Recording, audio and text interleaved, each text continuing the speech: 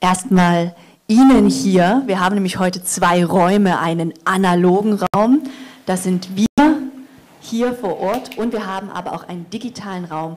Unsere Veranstaltung wird live gestreamt und ist auch anschließend noch anschaubar und abhörbar in den unterschiedlichen Formaten. Wir haben uns heute hier in diesem wunderschönen Boulevardtheater zusammengefunden, um gemeinsam ein Wahlforum für die neue, aktuelle, jetzige Oberbürgermeisterinnenwahl abzuhalten. Veranstaltet wird das Ganze Wir gestalten Dresden, dem Verband für Kultur und Kreativwirtschaft hier in der Stadt und zusammen mit Silicon Saxony. Sehr geehrte Damen und Herren, auch von meiner Seite ein herzliches Willkommen zu dem heutigen Abend. Und meine erste Aufgabe wird sein, Ihnen die Moderatorin und Hausherrin des heutigen Abends vorstellen zu dürfen. Sie ist freischaffende Musikmanagerin, ehrenamtliche Vorsitzende von Wir gestalten Dresden und heute eben ihre Expertenrolle im Bereich der Kultur- und Kreativwirtschaft da. Liebe Annika, ich freue mich auf den Abend. Dankeschön, Andreas. Und mich begleitet bei der Moderation Andreas Tietze. Er ist Fachreferent für politische Beratung und Begleitung der Aktion Zivil Courage e.V. Er ist außerdem Moderator für kommunale Krisensituationen, die wir heute nicht haben, im Kompetenzzentrum Krisendialog Zukunft und er ist Experte für Prozesse, Kommunikation und Kontroversität. So, schön, dass du da bist, Andreas. Danke. Sehr geehrte Damen und Herren, Sie haben es eingangs schon erwähnt oder erwähnt bekommen. Wir haben heute eine hybride Veranstaltung. Das heißt, wir werden jetzt erst zu Ihnen sprechen und werden dann den digitalen Raum gleich nochmal dazuhören. Dann werden wir uns nochmal vorstellen und dann gehen wir in die gemeinsame Veranstaltung heute. Wie diese Veranstaltung abläuft, welche Beteiligungsmöglichkeiten Sie haben, das möchte ich Ihnen gerne jetzt mitgeben auf Ihren Weg. Es wird so sein, dass wir drei Themenblöcke vorbereitet haben mit Fragen, die uns die entsprechenden Institutionen der Kreativwirtschaft mitgegeben haben. Denen werden wir uns widmen. Dann wird es Publikumsfragenrunden geben. Da gibt es eine Kollegin, die mit dem Mikrofon, das ist Antje Wonnenberger, ich weiß nicht, Antje, vielleicht kannst du dich mal zeigen im Raum sofern sie da ist. Noch nicht, ähm, aber sie Noch kommt. nicht, aber zumindest äh, wird sie sichtbar sein. Das heißt, Sie können dann Fragen an die Kandidatinnen und Kandidaten stellen. Dort die Bitte, Fragen zum Thema. Wir haben heute das Thema Kreativ und also Kultur und Kreativwirtschaft. Wir haben die Regelung Erstmeldung vor Folgemeldung. Das heißt, wenn Sie zwei, drei Fragen stellen wollen, dann ist die Wahrscheinlichkeit gering, dass das heute klappen wird. Und stellen Sie Ihre Frage gern an einzelne Kandidatinnen und Kandidaten, damit wir nicht immer eine ganze Runde drehen müssen. Wichtig für Sie, dieses Format ist speziell, weil wir sagen in der Prozessmoderation, alles, was über zwei Stunden geht, das wird nicht gut. Heute haben wir uns drei Stunden Zeit genommen.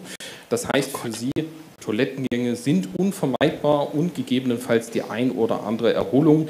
Die Toilette finden Sie, wenn Sie hier wieder rausgehen und sich dann rechts halten Richtung des großen Saales und dort sehen Sie dann schon oben links den Aufsch oder die Aufschrift Toilette. Dort können Sie entsprechend hingehen. Ansonsten auch schon mal von meiner Seite und unserer Seite her, unserer Seite her Maskenpflicht, das ist nicht einfach, auch wenn wir uns auf die Zeit dieser heutigen Veranstaltung anschauen, haben Sie Dank, dass Sie im Interesse unserer aller Gesundheit ähm, sich entsprechend daran halten. Und es gibt noch die Möglichkeit hier vorn beim Eingang, sich mit Getränken zu versorgen. Das tun Sie gern, sofern Sie das möchten, gern leise. Nehmen Sie sich gerne ein Getränk Ihrer Wahl an Ihren Platz, damit es Ihnen gut geht. Vielen Dank. Und wir üben jetzt was. Also wie gesagt, wir werden nicht das ganz klassische und traditionelle Wahlforum haben. Und es wäre sogar schön, wenn Sie und ihr etwas mitmachen. Und klatschen darf erlaubt sein. Und ich möchte das jetzt einmal kurz schauen, ob bei Ihnen die Funkt ein Funktionstest, ne, nachdem wir den technischen Test haben, nochmal ein Funktionstest, funktioniert das schon. Können Sie mal bitte für mich klatschen? Perfekt. Und ich gebe Ihnen, einige von Ihnen waren vielleicht im Chor oder haben in einem Orchester gespielt. Es gibt noch das andere Zeichen, weil wir haben, obwohl wir drei Stunden haben, einen relativ straffen Zeitplan. Und wenn ich denke, uh, es wird zu viel geklatscht, würde ich Ihnen dieses Zeichen geben. Und das ist dann das Zeichen, bitte aufhören zu klatschen. Okay? Das ist es. Wir stellen heute mal wieder fest, ohne Kreative wäre Dresden nur eine Wiese an einem Fluss und kein Standort für Hochtechnologie und Kunst. Und in diesem Sinne, Blick auf die Uhr, was sagt unsere Technik? Wollen wir noch die zwei Minuten warten oder geht's los? Die Technik sagt, es geht los. Dann nochmal im digitalen Raum. Herzlich willkommen hier beim Wahlforum der Kultur- und Kreativwirtschaft anlässlich der aktuellen Oberbürgermeisterinnenwahl in unserer wunderschönen Landeshauptstadt Dresden. Ich begrüße Sie ganz herzlich hier im Namen von Wir gestalten Dresden, dem Branchenverband für Kultur- und Kreativwirtschaft in der Stadt Dresden und gemeinsam mit Silicon Saxony. Und ich, sehr geehrte Damen und Herren, auch von meiner Seite ein herzliches Willkommen hier bei diesem OB-Casting am heutigen Abend, auch im digitalen Raum. Darf Ihnen Annika Jankowski, deren Stimme Sie jetzt gerade schon hören durften, vorstellen. Frau Jankowski des heutigen Formats, freischaffende Musikmanagerin, ehrenamtliche Vorsitzende von Wir gestalten Dresden und Expertin für Kultur- und Kreativwirtschaft. Liebe Annika, schön, dass du da bist. Ich freue mich auf die gemeinsame Moderation. Dankeschön, Andreas. Und zu meiner Seite dicken Ziele. Sie haben es schon Kultur- und Kreativwirtschaft. Wir möchten mit diesem Veranstaltungsformat heute erreichen, dass wir einerseits die KandidatInnen kennenlernen, dass für alle Unentschlossenen, sowohl als auch hier im analogen Raum vor Ort im Boulevardtheater, eine Entscheidungshilfe gegeben wird, um dann ähm, für sich kompetent ein Kreuzchen zu machen. Und wir hätten gern ein fokussiertes Wahlforum zum Thema Kultur- und Kreativwirtschaft. Sie werden gleich sehen, das sind schon viele Facetten, die damit abgedeckt werden können. Und genau, dafür sind wir heute hier.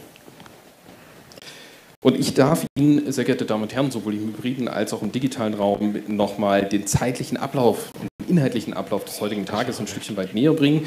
Wir haben uns sehr viel Zeit genommen, untypisch für so ein Wahlforum, aber wir werden miteinander drei Stunden Zeit verbringen, damit Sie die Möglichkeit haben, wie von Annika Jankowski vorgestellt, Ihre Kandidatinnen und Kandidaten kennenlernen. Also wenn Sie nicht so entschieden sind, haben Sie die Möglichkeit, heute eine Entscheidungshilfe entsprechend ranzunehmen. Das heißt, gegen 20 Uhr, das für Ihre zeitliche Planung und auch im Interesse Ihrer Zeit, damit Sie auch zu Ihren Familien wieder zurückkommen, werden wir schließen. Das wird nicht 20.30 Uhr sein, sondern wirklich 20 Uhr. Da bemühen wir uns drum. Daran können Sie uns gern messen. Wir haben drei Blöcke, drei Themenblöcke zusammengebaut. Das eine wird eine Wirtschaft im klassischen Sinne sein. Und dann werden wir miteinander auch nochmal über Rahmenbedingungen sprechen. Es wird Schnellfragerunden geben und auch Publikumsfragenrunden, die, äh, wo Sie Ihre Fragen einfach hier mit in den Raum geben können. Die analoge Beteiligungsmöglichkeit, die haben wir schon benannt. Das ist ganz einfach. Im analogen Raum gibt es eine Kollegin, die mit dem Mikrofon dann entsprechend nach Meldung zu Ihnen kommt und Sie können die Frage dann entsprechend stellen. Im digitalen Das ist die Antje Wonneberg, um kurz Ah, reinzukommen. Jetzt ist sie nämlich da. Da hier vorne sitzt sie. Sie kommt dann gern zu Ihnen mit dem Mikrofon. Wunderbar, vielen Dank. Im digitalen Raum haben Sie äh, die Möglichkeit, auf drei verschiedenen Plattformen entsprechend dieser Veranstaltung zu folgen. Das ist LinkedIn, das ist Facebook und das ist YouTube. Möchten Sie aber im digitalen Raum entsprechend eine Frage stellen, dann wechseln Sie gern die Plattform zu YouTube. Dort gibt es einen moderierten Chat und dort können Sie Ihre Frage an Ihre Kandidatinnen und Kandidaten entsprechend mitgeben. Auch hier nochmal der Hinweis, im analogen Raum hatte ich es schon gesagt, es ist eine lange Veranstaltung. Sie daheim im, äh, vor Ihren Bildschirmen, Sie können natürlich in den drei Stunden aufstehen, essen, Hauswirtschaft machen, was auch immer Ihnen beliebt. Das können wir hier nicht. Den Nachteil haben wir leider. Aber durchaus ist der ein oder andere Toilettengang auch notwendig. Das heißt, wenn ein Kandidat von der Bühne runtertritt, dann rennt er nicht weg, sondern dann braucht er zumindest entweder eine Erfrischung oder einen kurzen Moment. Das heißt, da schauen Sie gern drauf, ist überhaupt kein Problem.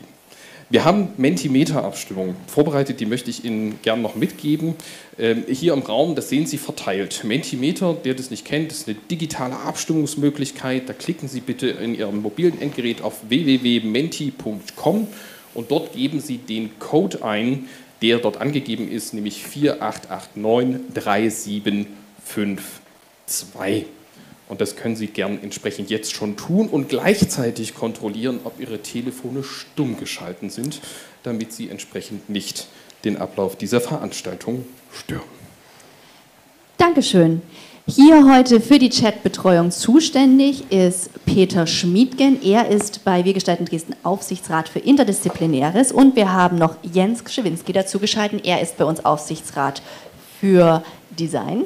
Und ähm, die sind quasi die Ansprechpartner für Sie zu Hause, wenn Sie Fragen haben und geben sie dann rein. Bevor wir reingehen in unsere erste Abstimmung, habe ich noch mal ein paar Zahlen für alle auf dem Podium und davor.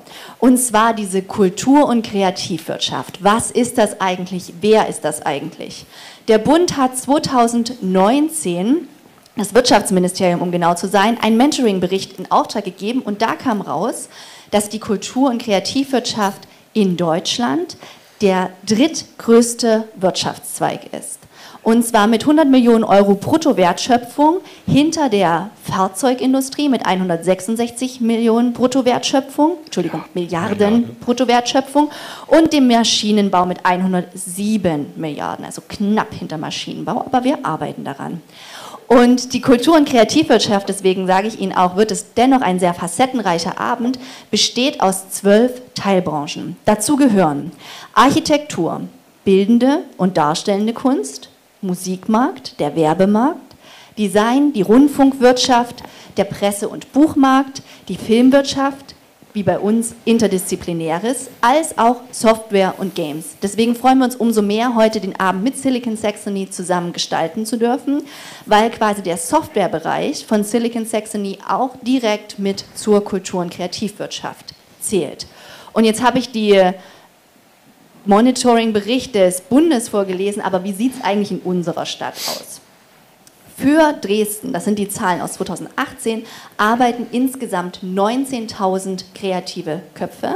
Die sind solo selbstständig oder in einem der 2100 Kreativunternehmen der Stadt an, äh, eingestellt und arbeiten für diese. Und wir haben über eine Milliarde Bruttowertschöpfung, nur für die Kultur- und Kreativwirtschaft. Und mit diesen Zahlen würde ich sagen, entlassen wir Sie in die allererste Umfrage. Und die übernehmen wir jetzt. Also wenn Sie es nicht schon getan haben, dann nehmen Sie gern Ihr mobiles Endgerät Ihrer Wahl oder den des Partners neben Ihnen. Das dürfen Sie gern handhaben, wie Sie es möchten.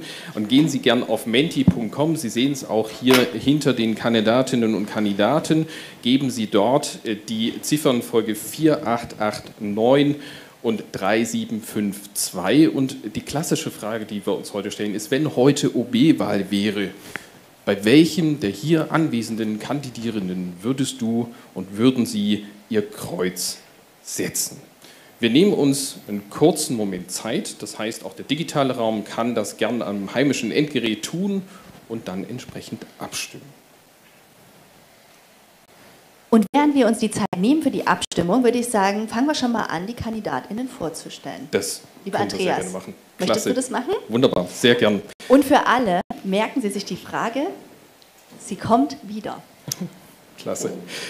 Dann dürfen wir den Reigen der Kandidierenden ähm, zur Oberbürgermeisterwahl in äh, Dresden entsprechend vorstellen. Vielleicht auch noch mal kurz für die, Teil, äh, oder für die äh, Gäste hier im Raum, warum sitzen nicht alle Kandidatinnen? Es sind ja nicht alle Kandidatinnen heute hier mit im Raum. Die Veranstalterinnen und Veranstalter haben sich dazu entschieden, nur diejenigen Kandidaten hier aufs Podium zu holen, die auch im Stadtrat entsprechend ähm, äh, verortet sind beziehungsweise ihre Fraktion Mitglieder sind. Und dementsprechend haben wir eben die Auswahl heute hier sitzen, die Sie vor Ihnen sitzen sehen. Und wir starten mit André Scholbach. André Scholbach ist Kandidat der Partei Die Linke und ist von meiner Seite auf der linken Saalhälfte. Herr Scholbach ist seit 2010 Rechtsanwalt ähm, und ist in Dresden tätig. Seit 1999 ist er Mitglied im Dresdner Stadtrat. Und wir haben gefragt, welches Kreative, Kreative äh, antwortete, wie aus der Pistole geschossen, politische Kreativität. Herr Scholbach, willkommen hier auf diesem Podium. Hallo.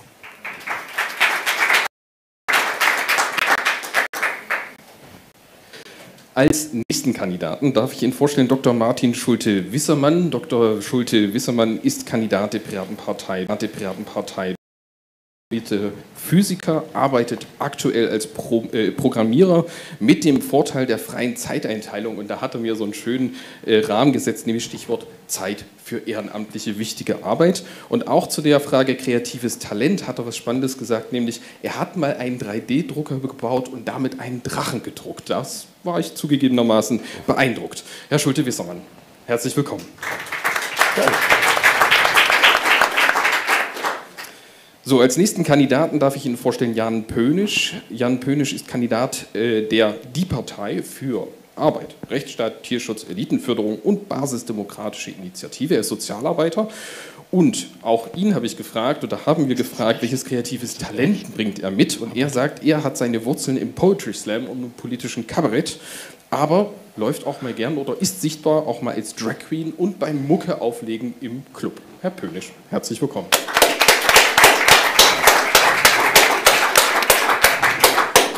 Als nächste Kandidatin darf ich Ihnen vorstellen Eva Beate Jenigen. Äh, Frau Jenigen ist Kandidatin der Partei Bündnis 90 Die Grünen. Sie ist ausgebildete Juristin und seit 2015 Beigeordnete für Umwelt, Kommunalwirtschaft in der Landeshauptstadt Dresden. Und beim kreativen Talent, Frau Jenigen, da haben Sie mich erwischt, weil da haben Sie ein kreatives Talent, das kenne ich gar nicht, ich musste googeln. Das erste Talent, das kannte ich, nämlich das Singen von mittelalterlichen volkstümlichen Musiken. Aber äh, die Herausgabe von Samistat-Büchlein, und wer das nicht weiß, was das ist, der kann das gerne nochmal nachschauen oder im Nachgang auch nochmal mit Frau Jenigen dazu ins ähm, Gespräch kommen. Das war spannend, da habe ich nachgeschaut. Frau Jenigen, herzlich willkommen, schön, dass Sie da sind.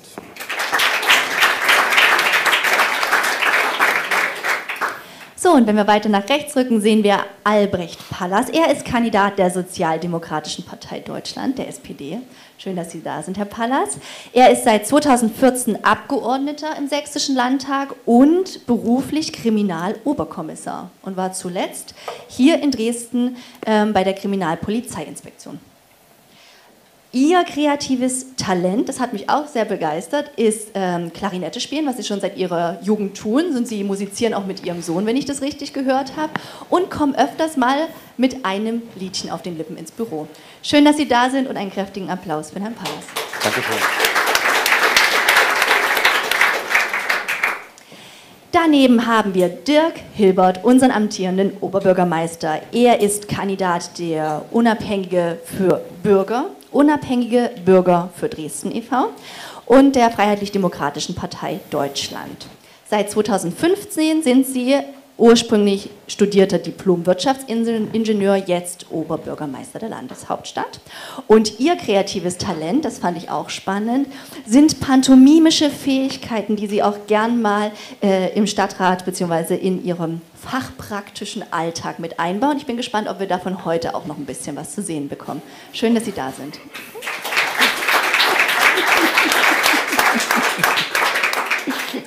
Und daneben haben wir Dr. Maximilian Krah, schön, dass Sie da sind, Kandidat der Alternativen für Deutschland der AfD.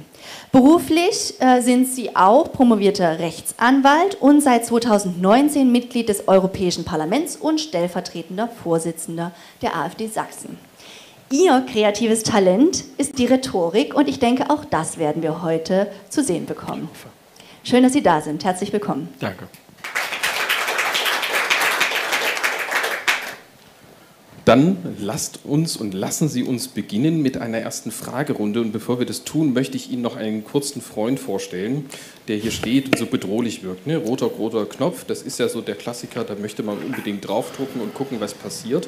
Das wird jetzt passieren, aber nicht Sie dürfen drücken, sondern der Kollege, der mir hier zur Seite sitzt.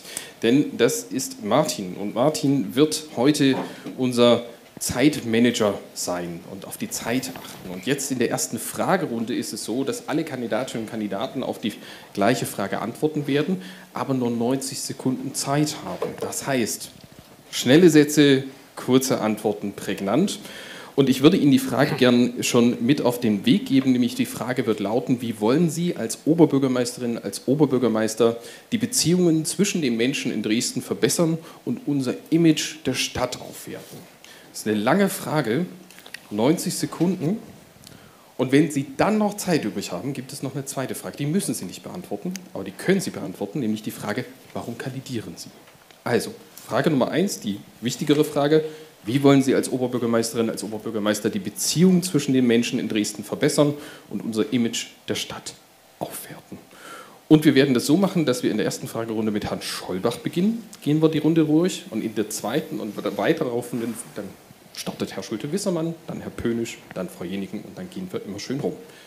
Herr Scholbach, ich gucke jetzt mal Kleinen Moment, ich habe da noch eine Ergänzung für die KandidatInnen hier oben auf dem Podium. Sie sehen die Zeit quasi in den Monitoren. Jetzt ist es schon mal probehalber eingeblendet. Und wenn Sie äh, aber denken, Sie müssten hemmungslos überziehen, dann erfolgt folgendes Geräusch.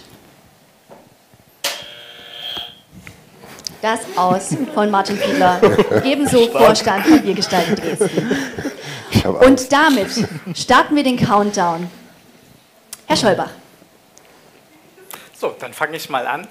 In den vergangenen Jahren hat sich ja das Klima in unserer Stadt wahrlich nicht zum Besseren äh, geändert. Ganz im Gegenteil, es ist wirklich sehr roh geworden, sehr grob geworden und das gefällt vielen, vielen Menschen überhaupt nicht. Äh, das muss sich ändern. Wir erleben das vielfach Montag für Montag, Hass und Hetze auf unseren Straßen und das dürfen wir nicht weiter so hinnehmen.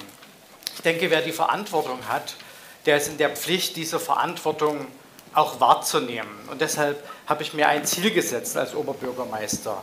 Ich möchte zusammen mit den Dresdnerinnen und Dresdnern, zusammen mit den Menschen unsere Stadt zur unfreundlichsten Stadt für Nazis, Hetzer, und alle anderen Feinde der Demokratie machen. Ich weiß, das ist ein sehr ehrgeiziges Ziel, aber man muss sich manchmal ehrgeizige Ziele setzen und wir müssen hier ein neues Klima hinbekommen in unserer Stadt. Wir müssen die Situation verbessern. Ich denke, wir brauchen wieder ein besseres, ein gerechteres, ein solidarischeres Miteinander und dafür möchte ich mich einsetzen. Und jetzt habe ich es sogar in weniger als 90 Sekunden geschafft. Vielen Dank. Dankeschön, Herr Scholbach. Möchten Sie die Frage, warum kandidieren Sie, noch kurz beantworten? Jetzt war der Timer schon wieder weg, aber wir üben das noch ein bisschen. Wie viel Zeit habe ich 20 Sekunden. 20 Sekunden. Dresden kann und muss besser geführt werden. Dresden soll gerechter werden. Das ist mein großes Ziel. Dafür trete ich an. Perfekt. Dankeschön, Herr Schäuber. Wunderbar. Und wir können weitergehen mit Martin Schulte-Wissermann. Bitte schön. Die, also erstmal guten Tag, guten Abend äh, in die Runde und auch draußen im Stream. Die Kreativwirtschaft äh, ist in meinen Augen das, was Sie eben schon in der Anmoderation gesagt haben, natürlich die Wirtschaft, die äh, äh Menschen, die arbeiten und damit was erwirtschaften. Es ist aber in meinen Augen genauso auch die freie Szene. Und es ist genauso auch die nicht äh, profitorientierte Kunst und Kultur. Äh, all das zusammen macht die Stadt aus. Ja, eine Stadt lebt nicht von einer Semperoper, eine Stadt lebt von den vielen, vielen kreativen Ideen, die reifen können und die ineinander sich verzahnen. Ja, das, man macht halt ein Projekt ohne Geld und dann macht man wieder was für Geld. Und wenn die Stadt dieses Klima hat, dann kommen auch neue Leute hinzu, beziehungsweise Menschen, die hier zum Beispiel von der Kunsthochschule kommen, gehen nicht weg und das bereichert unser ganzes Stadtleben. Und das gilt es, glaube ich, als Gesamtheit zu sehen. Soll ich direkt weitermachen? Und auch hier sind noch 25 Sekunden übrig, deswegen gern, warum kandidieren Sie? Ich kandidiere, weil ich das Gefühl habe, dass die meisten meiner Mitkandidierenden mehr oder weniger sich in Allgemeinplätze äh, äh, ja, retten, um ein möglichst breites, schönes Bild von sich zu geben. Und ich spreche das aus, was gemacht werden muss. Sowas wie autofreie Neustadt oder ähm, ja, Dekarbonisierung der Sachsenenergie. Herr Schulte-Wiesemann, das war Punktlandung. Vielen herzlichen Dank. Auch sehr schön, dass Sie sich sehr nah an die Zeit halten. Hervorragende Übung. Herr Pödisch, bitte. Ich habe die Frage schon wieder vergessen. Die, die Frage steht auch nochmal dort, Herr genau. Pödisch. Schauen Sie mal. Wie wollen Sie als Bürgermeister... Wie wollen Sie Beziehungen zwischen den Menschen Dresden verbessern und das ähm, Also folgendes. Die Beziehung der Menschen in Dresden würde ich verbessern, indem ich persönlich eine Beziehung zu diesen Menschen auch eingehe. Und damit meine ich Sex. Und wenn ihr mich wählt, werde ich Sex mit euch allen haben. Das verspreche ich euch. Gut, gibt es noch Ergänzungen? Dann würde ich auf den zweiten ja, Teil. Ja, Teil. ja. Ähm, na, eigentlich wollten wir von der Partei jemanden aufstellen, der Dirk Hilbert heißt. Und ähm, Dirk hat gekniffen. Wir hatten einen aus Baden-Württemberg, der wollte dann nicht für uns antreten. Ja, ich hatte Zeit und darum bin ich jetzt hier. Alles klar, Dankeschön. Sehr gerne. Danke. Frau Jenigen, Bitte schön. Ich möchte gerne, dass Dresden eine weltoffenere Stadt wird und der Weg dazu ist ja die Zivilgesellschaft, das Rückgrat der Demokratie. Und deshalb möchte ich, dass vom Rathaus aus die Menschen gestärkt werden, die sich mit all ihren kreativen Ideen um Demokratie kümmern, gegen Rassismus engagieren. Und dazu brauchen wir vom Rathaus aus eine Stadtverwaltung, die Bürgerinnen und Bürger beteiligt, die ihre Ideen wertschätzt, die Empathie im Umgang mit Menschen vorlebt, die aber auch klar ist in der Ablehnung von Menschenfeindlichkeit und Rassismus. Und wir brauchen in der Stadt vom Rathaus aus eine Führungskultur auf Augenhöhe. Und deshalb bewerbe ich mich als Oberbürgermeisterin, weil ich das umsetzen will mit meinem weiblichen Führungsstil und weil ich die Stadt damit voranbringen will. Und nach der Oberbürgermeisterinwahl möchte ich gerne ein neues Kapitel aufschlagen und die Art und Weise des Umgangs zwischen Rathaus und Stadtgesellschaft verändern, klarer an den Menschen sein, Bürgerinnen und Bürger beteiligen und auch transparent machen, was die Stadtverwaltung macht. Das sind meine Ziele, die ich gerne als Oberbürgermeisterin mit Ihnen angehen möchte. Dankeschön, Frau Jenigen. Sie haben noch 15 Sekunden. Möchten Sie noch was ergänzen? Wunderbar. Dann vielleicht einen kurzen Applaus Frau Jenigen. Herr Pallas, wie lautet Ihre Antwort? Ich habe vorhin gelernt äh, oder wurde bestätigt darin, welch äh, Wirtschaftsfaktor die Kultur- und Kreativwirtschaft auch in Dresden ist. Vor allem ist die äh, Kultur- und Kreativwirtschaft aber ein Faktor, der unsere Stadt spannend macht und spannend machen kann. Und jetzt, Dresden ist eine schöne Stadt, da sind sich, glaube ich, auch die meisten Menschen immer einig. Aber Dresden droht eben ein bisschen langweilig zu werden. Und das merken wir auch im Bereich kreativer und junger Menschen. Für viele ähm, sind Städte wie Leipzig oder Berlin spannender. Wir bilden hier viele äh, tolle Leute aus, äh, gerade auch in der äh, Kultur- und Kreativwirtschaft. Aber viele wandern eben ab aus konkreten Gründen. Es fehlen Räumlichkeiten, Experimentierräume, auch welche, die vielleicht erschwinglich sind für ähm, Bereiche, die eben nicht sofort wirtschaftlich arbeiten können. Ähm, aber wir müssen die klugen, die kreativen Köpfe und die fleißigen Hände in der Stadt halten. Das ist eine der wichtigsten Aufgaben, vor denen wir stehen. Und äh, Menschen schlägt auf den Magen, äh, dass in der Stadt Hass und Hetze äh, ihnen entgegenschlägt und dass sie deswegen auch das Gefühl haben, Dresden ist vielleicht nicht mehr ihre Stadt. Und ich äh, kandidiere deshalb, weil ich das Gefühl habe, dass der amtierende Oberbürgermeister nicht mit der nötigen Kraft hinter diesen Aufgaben steht. Viel Gleichgültigkeit, er steht sozusagen nicht in der ersten Reihe sozusagen der äh, vielfältigen demokratischen Gesellschaft, wenn es darum geht, sich klar zu positionieren für eine weltoffene, demokratische, solidarische Gesellschaft. Und als gebürtiger Dresdner treibt mich das um. Das äh, hält mich nicht auf dem Stuhl und deswegen habe ich gesagt, ich äh, will es wissen und kandidiere. Dankeschön.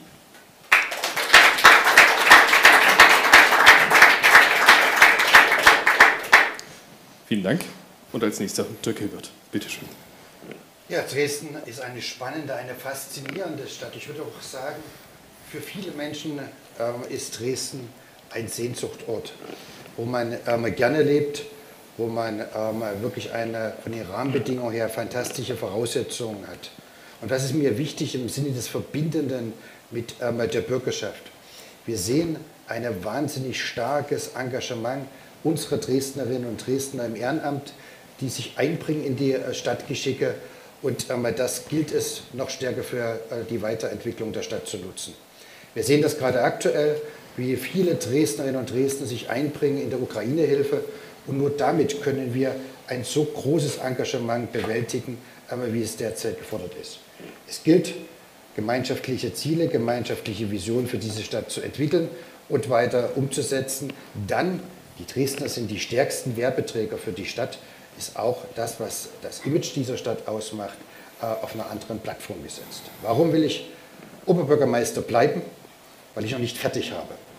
Ähm, ich habe eine ganze Reihe von Projekten für diese Stadt angeschoben, ähm, die ihrer Realisierung noch weiterhin meiner Führung äh, bedürfen. Und deswegen tritt Dirk Gebert und ich wieder ein. Dankeschön.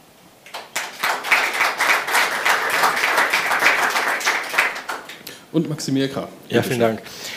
Was wir beobachten können, ist, dass unsere Stadtgesellschaft zunehmend auseinanderdividiert. Und deshalb setzen wir ganz bewusst das Thema, wer sind wir, die Frage nach der Identität der Stadt und uns als Stadtgesellschaft an den Beginn unseres Programms. Das eine ist, wir wollen niemanden zurücklassen, auch diejenigen Dresdnerinnen und Dresdner nicht, die vielleicht sozial schwach sind und schon aufgegeben haben, sich am städtischen Diskurs zu beteiligen, zum Beispiel in Problemstadtvierteln. Zum Zweiten glauben wir, dass wir eine aktive Bürgergesellschaft hat, die das auch in Demonstrationen deutlich macht und die es nicht verdient, nur deshalb, weil sie vielleicht dem politischen Mainstream nicht gefällt, mit Hass und Hetze abgekanzelt zu werden, sodass man ihr auch zuhört, selbst wenn man es nicht möchte.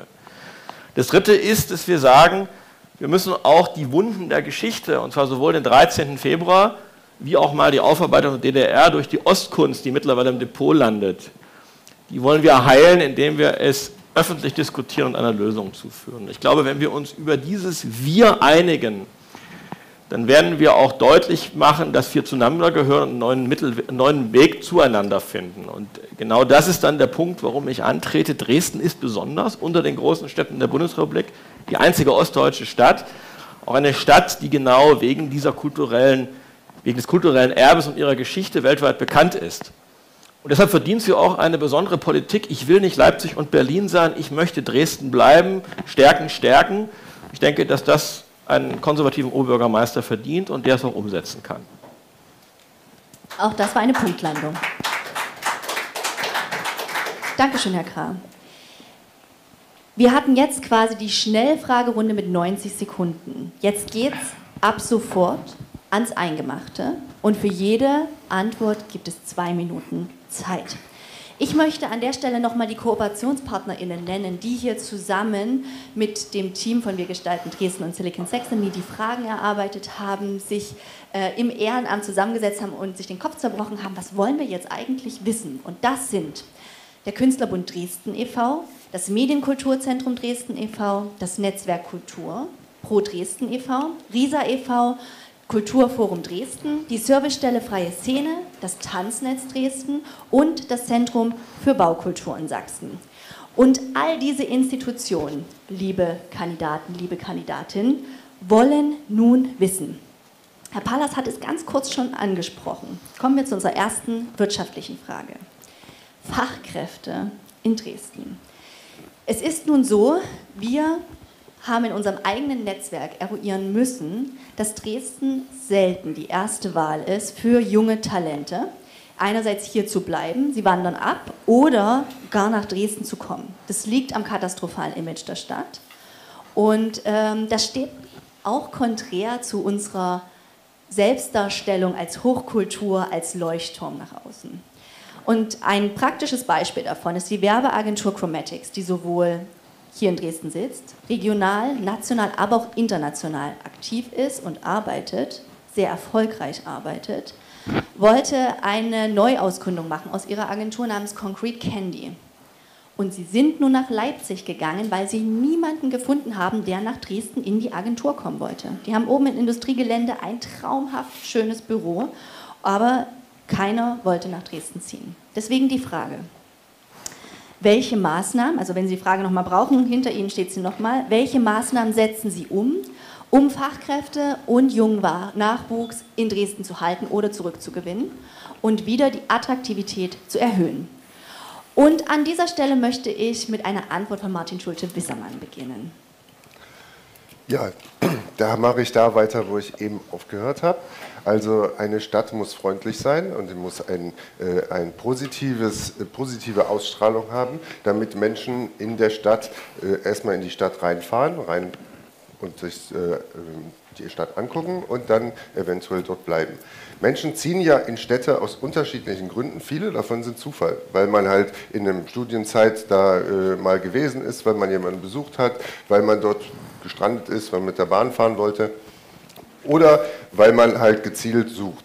So, und Dresden hat einfach ein äh, fundamentales Problem, da draußen in der Welt, nicht unbedingt hier bei uns, ja, aber, aber draußen in der Welt, ähm, was quasi die ja, Freundlichkeit äh, in der Stadt angeht. Und hier muss man ansetzen.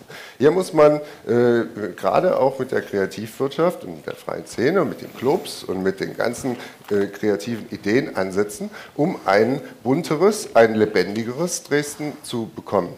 Ich muss, wenn ich am Wochenende äh, äh, meine Freizeit genießen will, nicht irgendwie eine, ein Event mir suchen, sondern ich muss halt drei, vier, fünf, sechs, sieben haben. Und es muss Spaß machen, in der Stadt zu leben.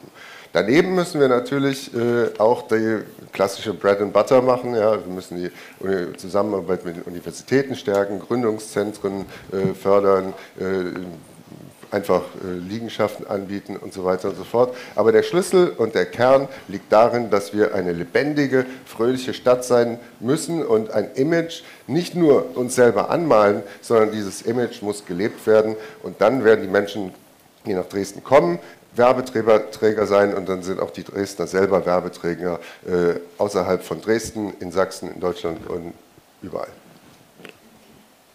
Wunderbar, vielen herzlichen Dank. Herr Pönisch.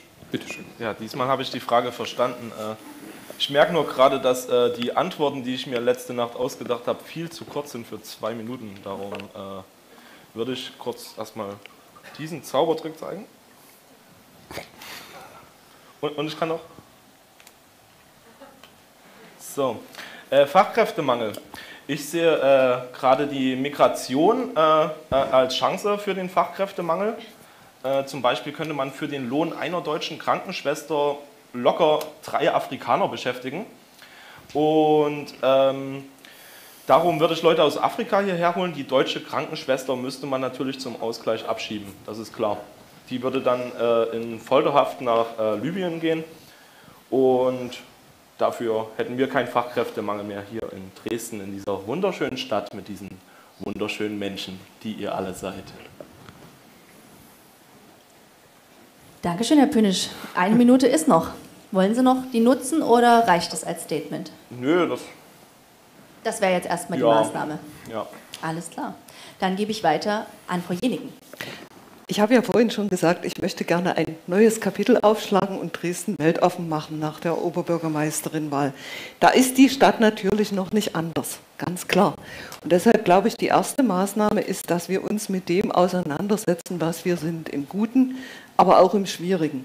Da werden sehr oft die Pegida-Demonstrationen genannt, wo ich schon glaube, wir sollten da gemeinsam und von der Rathausspitze aus regelmäßiger und ständiger gegendemonstrieren. Aber das ist es ja nicht allein. Der Alltagsrassismus ist das Problem, was viele Menschen abschreckt, wenn sie sich anders sehen. Und darüber müssen wir sprechen, das müssen wir ernst nehmen. Das wäre die erste Maßnahme. Die zweite wäre, Kreative wertzuschätzen. Und zwar nicht nur als Wirtschaftsbranche, mit allem Respekt vor ihren Erfolgen. Ich glaube, sie schaffen es mit dem Maschinenbau auch noch, auch wenn ich da meinen ersten Beruf gelernt habe, sondern Kreative als Menschen. Das meine ich mit der Stadtverwaltung, die Ideen wertschätzt, aufnimmt, die kooperiert und das umsetzt, wenn es umsetzbar ist, was sich Menschen überlegen. Das ist der zweite Punkt. Punkt. Angebote für die Kreativen, für die Künstler, für die Kulturleute, die wir gerne hierher locken oder hier behalten müssen. Gründerzentren, Freiräume, und zwar nicht nur Freiräume für die Wirtschaft, sondern auch nicht kommerzielle Freiräume. Grünflächen, Flächen zum Chillen für Jugendliche will ich schaffen. Und ich möchte gerne als Oberbürgermeisterin erreichen, dass wir eine Kulturpolitik machen, wo sich die Moderne mit dem ganz alten Renaissance-Barock reibt, wo wir die Ostmoderne wieder aufstellen. Ich habe ja damit schon angefangen als Umweltbürgermeisterin mit diversen Objekten und eine Stadt kultureller Vielfalt werden. Und dann werden wir spannend und interessant und Dresden hat alles Zeug dazu. Und dafür möchte ich Oberbürgermeisterin werden. Frau Jeniken, vielen herzlichen Dank. Herr Palles, bitteschön. Ich möchte Dresden wieder spannend machen und dafür sollen die kreativen Köpfe wieder Ja zu Dresden sagen können. Das ist zum einen eine Frage der Stimmung in der Stadt, das ist in den Eingangsworten schon angeklungen und es ist so, das stellen wir alle fest, kein Oberbürgermeister bisher ähm, hat sich sozusagen an die Spitze einer breiten bürgerlichen, demokratischen äh, Stadtgesellschaft gestellt, wenn es darum ging, uns äh, dem entgegenzustellen, dass seit vielen Jahren äh, Dresden Aufmarschgebiet äh, für äh, extreme Rechte ist, die sozusagen unsere Kulisse, unsere Stadt missbrauchen, um ihre Hetze zu verbreiten. Das muss sich ändern. Aber äh, es geht auch darum, konkrete Bedingungen für die Kreativen zu schaffen und zu verbessern. Da haben wir auch noch Nachholbedarf. Vorhin hieß es schon mal stärken, stärken. Ich ziehe andere Schlüsse daraus. Wir haben eine unglaublich breite Forschungs- und Wissenschaftslandschaft. Warum gelingt es uns noch nicht in ausreichendem Maße einen Transfer von der Forschung in die Wirtschaft, aber auch die Gesellschaft ähm, herzustellen und dadurch mehr innovative Gründungen äh, zu ermöglichen. Da geht es um Start-ups, äh, die technologieaffin sind. Da geht es aber auch um, um kreative Gründungen, die jetzt äh, vielleicht nicht erstmal nicht von vornherein wirtschaftlich arbeiten können, die trotzdem wichtig äh, dafür sind, unsere Stadt weiterzuentwickeln. Wir brauchen eine Flächen-, eine Raumstrategie. Und da geht es also um bestehende Unternehmen, die wachsen, da geht es um Ansiedlung, aber eben auch um Experimentierräume. Ähm, da geht es um Proberäume und ähm, da kommen plötzlich Projekte in den Fokus, wie der alte Leipziger Bahnhof oder das Industriegelände Alberstadt oder andere Bereiche, wo es darum gehen muss, Wohnnutzung, gewerbliche Nutzung neben äh, kultureller Nutzung, Clubs beispielsweise, ähm, zu setzen, Konflikte zu vermeiden. Und äh, nicht zuletzt brauchen wir auch in Dresden eine äh, kräftigere Digitalstrategie. Das ist eine Frage von Breitbandausbau. Also Ziel muss es sein, jeden, jedes Unternehmen, jeden Haushalt mit einer Gigabit-Anbindung auch anzuschließen. Wir müssen die Verwaltung digitaler machen und wir müssen auch dafür sorgen, dass äh, die digitale Transformation in allen Stadtteilen auch gelebt werden kann. Dankeschön. Auch hier wieder eine Punktlandung zeitlich. Vielen Dank, Herr Pallas. Dirk Hilbert, bitte. Ja, unser Außenbild ist so, wie wir es selber darstellen. Und ähm, von der Seite her ähm, müssen wir uns dann am Ende der Tage manchmal über die Reaktion nicht wundern. Wir haben aber eigentlich Tolles geschaffen in den letzten Jahren. Ähm, einzigartige Orte, gerade ähm, für die Kreativen, fangen wir an mit dem faszinierenden ähm, Zentrum weitere ähm, impulsgebende Orte vor, mit ähm, dem ähm, Auf- und Sanierung und entsprechenden Nutzung der Robotron-Kantine als einen weiteren Impulsgeber. Und wer mich eben sehr stark geprägt hat für die Stadtentwicklungsfragen, ist immer Peter Kulka, der eben sagt, du musst gucken, dass du auch in die Ost-West-Ausdehnung dieser Stadt Akzente setzt, damit wir eben nicht nur in der Nord-Süd-Achsenbewegung unserer Stadt ähm, uns entwickeln, sondern eben halt auch in den konzentrischen Kreisen weiter ausbauen. Dresden hat eine faszinierende Kunst-, Kultur- und Wissenschaftsszene, die wahnsinniger Motor aber gerade für die Kreativität dieser Stadt ist.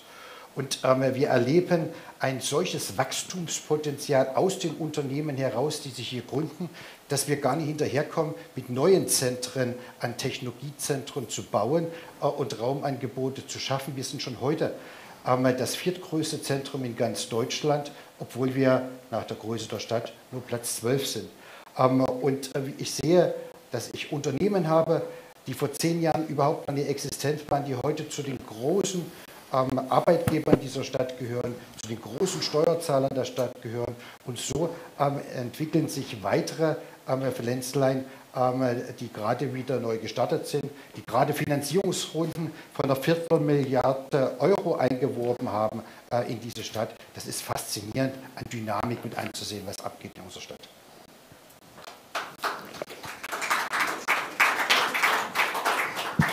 Vielen Dank, Herr Hilbert. Maximilian Karl, bitte schön. Ja, wenn wir von Image sprechen, das ist ja Bild. Und dann geht es immer um die Frage, das Bild bei wem. Das, was bei einem einen ein schlechtes Bild ist, kann beim anderen sehr attraktiv sein. Und insofern, wenn wir in die Strategie, betriebswirtschaftliche Strategielehre hineingehen, gibt es das äh, schöne Bild vom roten und vom blauen Ozean. Im roten Ozean tummeln sich alle und deshalb ist er rot, weil es eben rot vom Blut des Kampfes ist. Und das Ziel ist es, immer ein Alleinstellungsmerkmal zu haben, nicht allein im blauen Ozean zu segeln.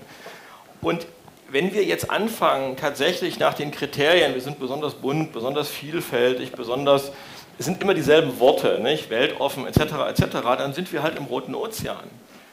Aber ich glaube nicht, dass wir dann gegen Berlin und Köln auch mit unserer geografischen Lage wirklich bestehen können. Aber man kann ja auch mal sagen, wir sind unter den 10, 15 großen deutschen Städten besonders. Wir sind halt ein Tick konservativer. Wir haben halt den Mut, ein Tick ostdeutscher zu sein, ein Tick anders zu sein. Und das ist auch attraktiv. Die, wir hatten bis zur Corona die, äh, immer einen Tourismuszuwachs, entgegen allem, was erzählt wird über schlechte Image. Wir haben jedes Jahr mehr ausländische Studenten an der Technischen Universität, auch entgegen allen Episoden, die immer heißt, es kommt keiner mehr. Wir haben äh, mittlerweile, der gesamte Bevölkerungszuwachs der letzten Jahre ist im Wesentlichen durch Zuzug aus dem Ausland geschehen. Und ich habe eine ganze Reihe auf Freunde und Geschäftspartner, die sagen, wenn Dresden den Mut hat, anders zu sein, kommen wir auch und investieren. Und insofern möchte ich bei Ihnen werben für den Mut, für ein Image, das sich abhebt von Leipzig, Berlin, Köln und das sagt, Dresden ist Dresden. Und ich denke, dass ich das auch politisch umsetzen kann. Und deshalb setzen wir ja besonders auf diese Identitätsthemen, äh, weil wir einfach sagen, nein, wir laufen nicht mit allen mit, denn wir glauben, dass alle anderen in schwere Zeiten hineinkommen, auch in eine Krise hineinkommen.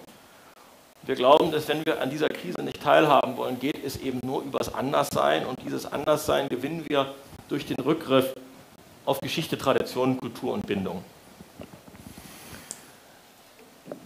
Gut, und last but not least, Herr Scholbach, Ihre Antwort. Meine Damen und Herren, es geht um mehr als nur um ein Image, um Bilder von Dresden. Es geht um die Realität.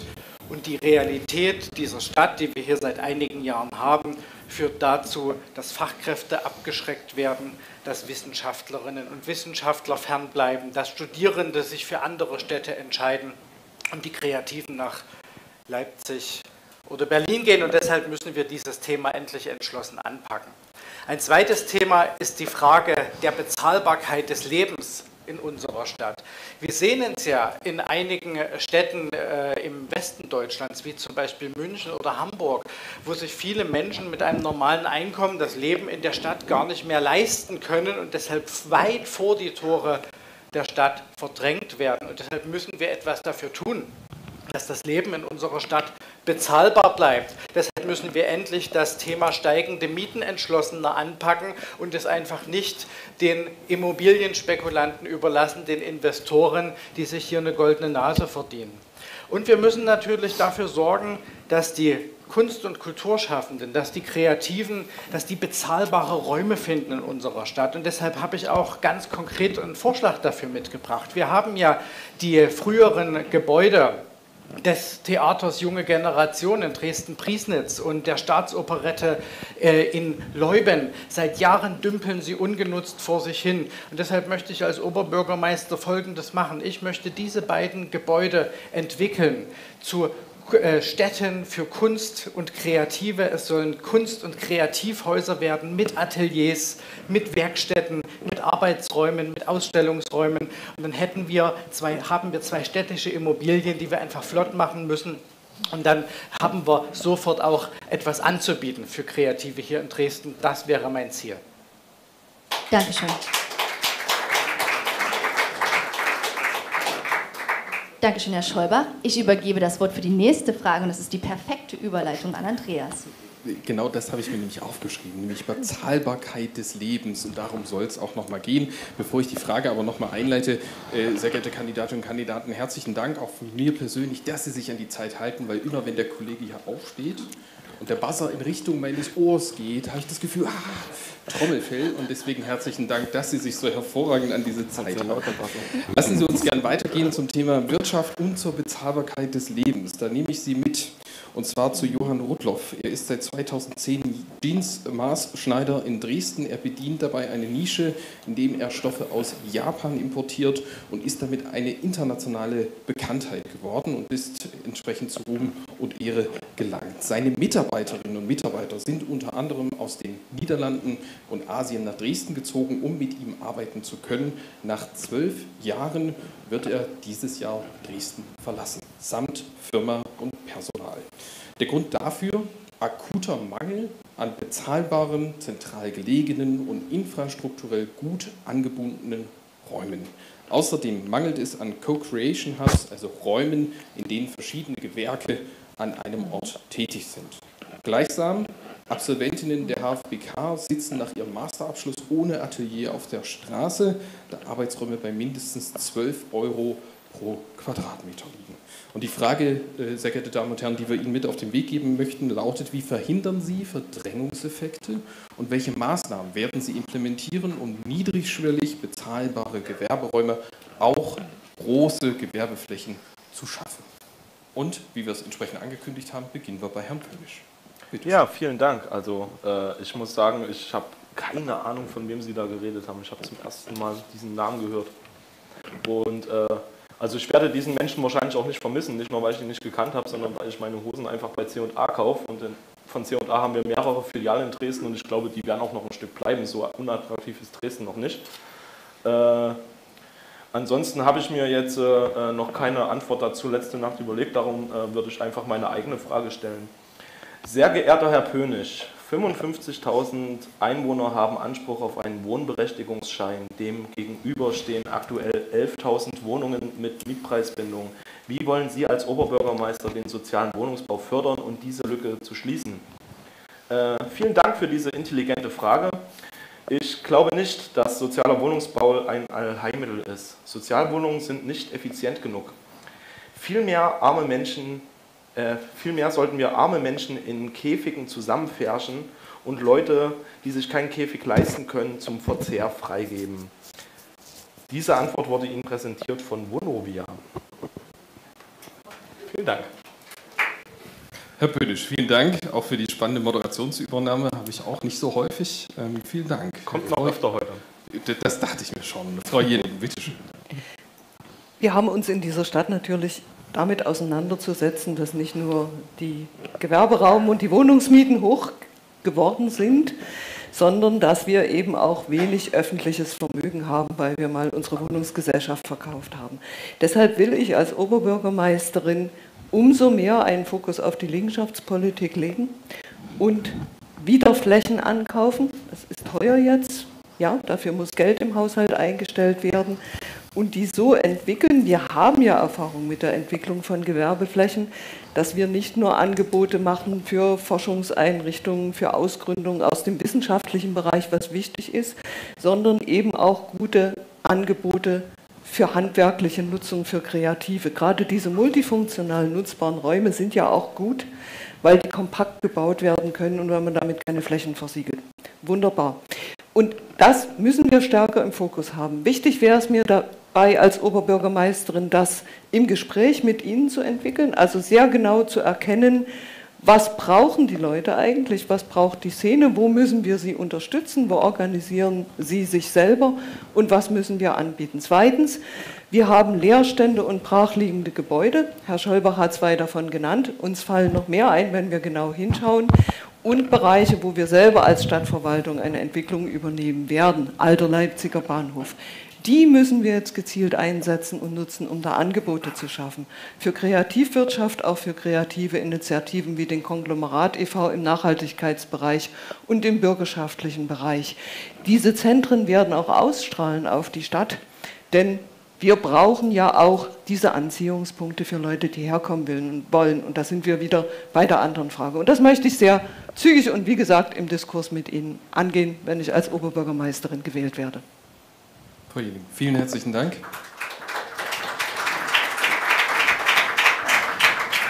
Herr Palles, bevor Sie antworten, was würden Sie denn den Herrn Rotluff antworten? wenn Sie das hören, seine Geschichte, die wir Ihnen heute mitgebracht haben? Ich würde erstmal bedauern, äh, dass er diese Entscheidung getroffen hat, treffen musste und äh, würde sicher auch versuchen äh, zu ergründen, ob es vielleicht doch noch eine Chance gibt, dass er da bleiben kann.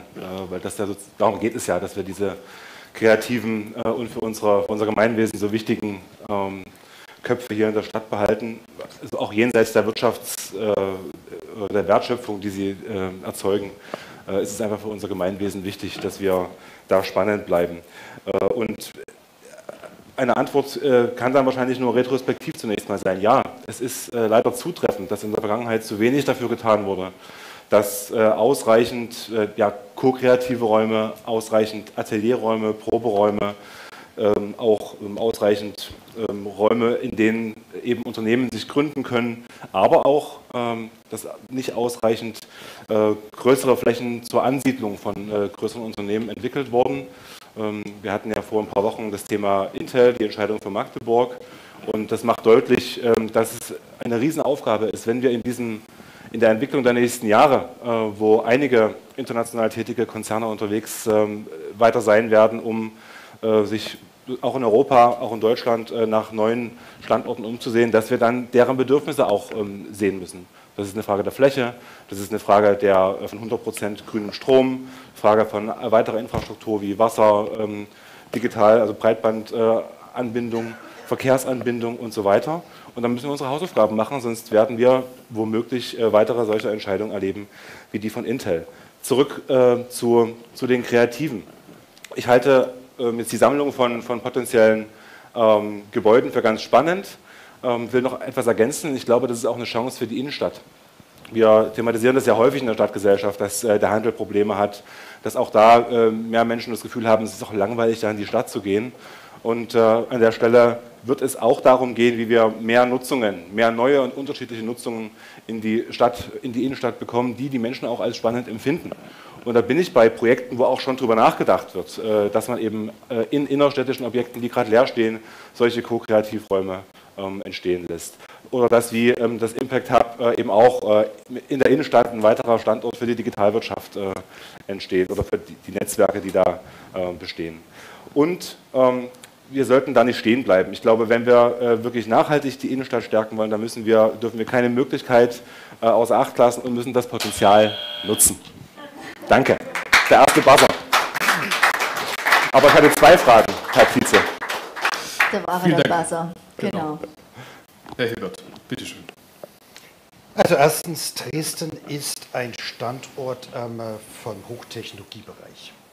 Und hier passieren wahnsinnig viele ähm, Gründungen, Erweiterungen und eben halt auch ein deutliches Wachstum ähm, in der Beschäftigung. Nicht umsonst ist alleine in meiner Amtszeit jetzt der letzten ähm, sieben Jahre sind fast 30.000 sozialversicherungspflichtige Shops dazugekommen. Die sind nicht vom Himmel gefallen. Das haben Unternehmen in unserer Stadt geschaffen. Sie werden immer Einzelbeispiele finden, die sich aus welchen Gründen auch immer ähm, anders entschieden haben. Genauso gibt es umgekehrt Unternehmen, die aus anderen Städten gesagt haben, ob das nur aus Bremen, aus Leipzig, aus Jena, wir kommen nach Dresden, weil wir hier äh, das Umfeld finden, was genau für uns spannend ist. Und wenn man den Kreativbereich anschaut, dann ist das größte Wachstum, das mit Abstand größte Wachstum, was wir haben, im Softwarebereich. Das ist das, was ähm, den großen äh, Segment ähm, in Dresden äh, gestaltet, wo es wunderbare Unternehmen gibt, ähm, die in einer wahnsinnigen Dynamik ähm, wachsen.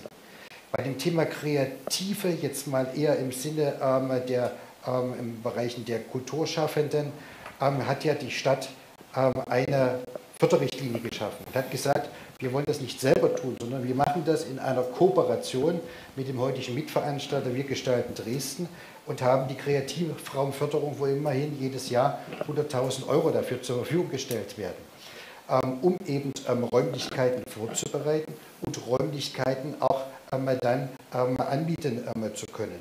Insofern äh, stehen die Instrumente da und ich würde eher den Herrn Rottler fragen, Hast du dich dann in Verbindung gesetzt? Warst du dann mit der Wirtschaftsförderung im Gespräch gewesen? Warst du bei Wir gestalten Dresden, hast die Instrumente genutzt? Ich würde eher vermuten, nein.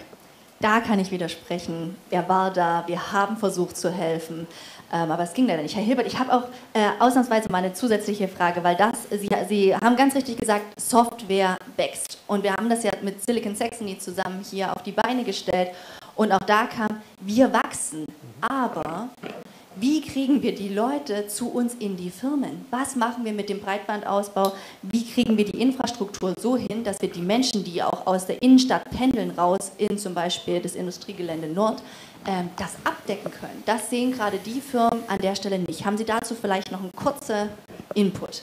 Also Industriegelände ist ja nun ein Klassiker. Den haben wir schon vor vielen Jahren ähm, als Wirtschaftsförderung, als Gewerbegebiet mit Breitband ausgestattet. Äh, bevor überhaupt dann die Telekom-Ausbauten ähm, vonstatten gegangen sind. Also Industriegelände und die städtischen Gewerbegebiete sind schon seit zig Jahren durch. Punkt. Und wie machen wir das mit dem äh, Transport der Mitarbeitenden aus der Innenstadt heraus nach oben in die einzelnen Zentren? Die meisten wollen ja heute Fahrrad fahren. Und ähm, dass ich jetzt den Fahrradcomputer ähm, mit ähm, dem digitalen Netz äh, der Firma äh, vernetze, kann man machen aber da soll man sich lieber dann auf den äh, Verkehr äh, konzentrieren. Ähm, wir haben in Dresden fast flächendeckend, und da sind wir auch als proaktiv vorne weggegangen, wir haben gesagt, wir schaffen hier ein 5G-Netz, wir sind intensiv in den Gesprächen ähm, mit Telekom, mit Vodafone ähm, gewesen, um da vorne dabei zu sein. Wir haben eine ganz andere Diskussion uns ähm, äh, leiten dürfen, weil wir eben ganz vorne dabei waren und sagen, ha, ähm, was ist, gehen da für Gefährdungen aus? Aber wir wollen in jeder Schule WLAN haben, viel, viel kritischer zu betrachten. Aber bei 5G ähm, war eine große, große Abwehrhaltung zunächst da. Jetzt passiert das Schleichen, keiner diskutiert mehr, ist ganz selbstverständlich. Okay, danke schön ist es dafür. Möglich, darauf zu reagieren? Herr Pallas würde ganz kurz antworten. Wir machen jetzt mal eine Ausnahme. Herr Pallas. Ja, dann möchte ich auch. Dann möchten wir alle. Die Büchse der Pandora ist habe die geöffnet. Büchse der Pandora geöffnet. So sind sie, die Politikerinnen Okay, und Politiker. 20 Never Sekunden, change los the rules. geht's. Äh, Das ist ein ganz entscheidender Punkt. Wenn wir wollen, dass wir weiter Flächen so entwickeln können, dass Unternehmen sich ansiedeln können, dann müssen wir eben all diese Aspekte beachten. Ähm, Da reicht es eben nicht, sozusagen nur die Fläche zu haben. Wir müssen sie anschließen an den Verkehr, an Breitband, an Wasser und andere äh, Fragen. Ähm, Wenn Sie sehen, welche Verkehrsmittel in den Dresdner Norden fahren, dann fährt die 8 nur bis Hellerau und danach fährt ein Bus ins Gewerbegebiet. Also muss die erste Maßnahme sein, wir müssen jetzt beginnen, eine Verlängerung der 8 bis nach Dresden-Renitz zu planen, damit die Menschen eine Chance haben, äh, ohne Auto da hochzufahren, die eben nicht mit Fahrrad fahren. Das sind eben auch nicht alle und werden auch nicht alle sein. Das Zweite ist, ähm, dass wir auch nicht äh, auf einer Insel leben. Dresden wird diese Aufgaben äh, unmöglich auf dem Stadtgebiet lösen können. Wir müssen also viel stärker äh, überhaupt mit dem Umland kooperieren. Und wir sind ja auch kein, wir sind ein, ein Ballungsraum, der eben nicht an den Stadtgrenzen Halt macht. Das heißt, wir müssen diese einerseits geringschätzige, andererseits vielleicht neidvolle Sichtweise aufeinander ablegen, aufeinander zugehen und all diese Infrastrukturfragen bis hin zur Energieversorgung und so weiter und so fort, auch bis zum Wohnen, gemeinsam angehen, weil dann die ganze Wirtschaftsregion Dresden und Umland was dazu, was davon hat. Okay, danke Herr Pallas. Ich würde, mein Vorschlag wäre jetzt, Frau Jenig, ich habe Sie nicht vergessen. Wir haben ja, die Runde endet ja nicht beim Herrn Gras, sondern sie geht weiter. Ich würde gerne das Wort nochmal so, dass wir in unserer Runde bleiben und Sie haben dann äh, womöglich das letzte Wort, wenn Herr Pönisch nicht nochmal äh, einen Beitrag hat. Okay, wäre das okay für Sie? Jetzt so vom... Dann, Herr wir kommen nochmal zurück zur ursprünglichen äh, Frage. Wie verhindern Sie die Verdrängungseffekte? Also zunächst einmal ist natürlich in jeder, in jeder Marktwirtschaft ist normal, dass es ein Kommen und Gehen gibt, dass es auch Verdrängungswettbewerbe gibt. Und die Frage ist ja eher, wie ist man so attraktiv, dass die Leute selbst dann in Dresden bleiben, wenn es eigentlich einen ökonomischen Anreiz geben könnte, wegzugehen. Zunächst mal, wenn wir uns das Mietniveau der Gewerbemieten ansehen und das vergleichen mit anderen deutschen Ballungszentren, sind wir nicht übertrieben hoch. Also vergleichen Sie uns mal mit München als das schlimmste Beispiel. Und auch da gibt es ja immer noch Neugründungen. Und insofern habe ich ein Alleinstellungsmerkmal. Ich möchte nämlich das Wohnungsproblem nicht dadurch lösen, dass wir jetzt eine städtische Gesellschaft haben und die baut Wohnungen und dann gibt es da irgendwelche Politiker in Aussichtsräten, sondern ich sage, ich möchte helfen, dass auch junge Familien imstande sind, Wohneigentum zu schaffen. Und zwar zum einen, indem man viel baut, zum Beispiel mit Hilfe der Stesat, aber zum anderen, indem man über städtische Bürgschaften bei der Stadtsparkasse dafür sorgt, gerade bei der Ostsächsischen Sparkasse, dass man zinsgünstige Kredite hat. Wir liegen zurzeit im gewerblichen Wohnungsbau bei 6.500 Euro den Quadratmeter. Wenn Sie das, das können Sie senken bei derzeitigen Baupreisen auf ungefähr 4.000 und Sie können auch ungefähr bei 1% landen, wenn die Stadt garantiert. Und dann würden die Menschen hier halt kaufen und sich verwurzeln. Und es ist ein Unterschied, ob Heimat da ist, wo der Laptop steht, oder ob Heimat da ist, wo ich im Grundbuch stehe. Und wenn wir es schaffen, Menschen hier zu verwurzeln über Eigentum, über Wohneigentum, dann ist auch der Anreiz, mit der Firma wegzugehen und auch eine Firma zu, äh, umzusetzen, wenn eben jetzt vielleicht in Magdeburg die Gewerbemiete etwas niedriger ist, ist weg. Und insofern glaube ich, dass gerade Heimat, Identität, Verwurzelung, Eigentum, wir haben die niedrigste Wohneigentumsquote in ganz Deutschland. Deutschland hat die niedrigste Wohneigentumsquote der ganzen EU.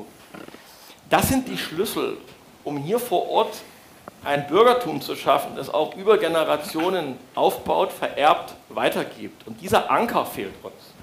Und das ist eben ein konservatives Programm. Das ist der blaue Ozean, den ich hier befahre, im Gegensatz zu den anderen Kandidaten und dem ich mir wünsche, dass Dresden ihn befährt. Danke, Herr Krah. Ich gebe weiter an Herrn Scholbach. Wir erleben, wie mit den Wohnungen, mit den Büros, mit den Gewerbeflächen in Dresden Monopoly gespielt wird, und zwar in der Realität. Dagegen müssen wir etwas unternehmen. Wir können das nicht einfach weiter so laufen lassen, weil das negative Folgen für unsere Stadt hat. Ich denke, wir benötigen endlich eine aktive Grundstückspolitik. Zwei Beispiele dafür. Ich trete dafür ein, dass wir einen Privatisierungsstopp verhängen. Es kann doch nicht wahr sein, dass wir die wenigen Grundstücke, die wir noch haben, einfach immer weiter verklingeln und privatisieren, anstatt sie selber im Sinne des Gemeinwohls zu nutzen. Zweiter Punkt. Die Gemeinden haben ein Vorkaufsrecht nach Baugesetzbuch unter bestimmten Bedingungen. Ich bin dafür, dieses Vorkaufsrecht zielgerichtet zu nutzen, um wieder an Grundstücke zu kommen und sie ebenfalls im Sinne des Gemeinwohls zu nutzen. Dritter Punkt, unsere Innenstadt. Ich glaube, unsere Innenstadt benötigt neue Impulse. Es muss mehr sein als nur ein Zentrum von Konsum und Kommerz. Ich wünsche mir, dass Kunst, Kultur, Kreativität deutlicher erfahrbar wird, erlebbar wird im Zentrum unserer Stadt.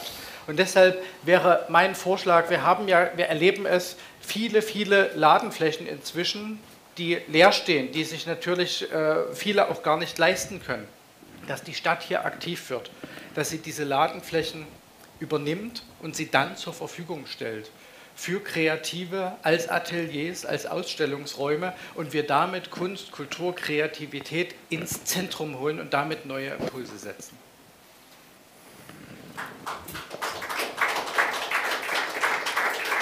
Herr Schöller, vielen herzlichen Dank. Martin Schutter-Wittermann, bitteschön. Ja, ähm, wir brauchen definitiv Räume. So, Räume für die schon bestehenden. Äh, ja, da kann die Stadt relativ schwierig was machen. Aber für neue kann die Stadt sehr wohl was machen. Machen wir ja schon. Gründungszentrum, Nano-Elektronikzentrum oben in Klotsche. Äh, hier ist es so, dass wenn ich so ein neues Gründungszentrum als Stadt baue, dann rechnet sich das. Also es ist nicht so, dass wir dann irgendwo Geld woanders abknapsen müssen, sondern dieses Gründungszentrum, da ziehen ja Startups ein, da ziehen junge äh, Firmen ein, die äh, äh, wachsen, werden größer, können sich dann nachher auf eigenen äh, Beinen äh, Räumlichkeiten suchen, weiterhin in Dresden äh, werken und neue Startups gehen in diese Gründungszentren rein. Das heißt, da, wo wir es bauen können, können wir es auch können wir es auch finanzieren, indem wir uns das Geld leihen, denn dieses Geld ist nicht weg.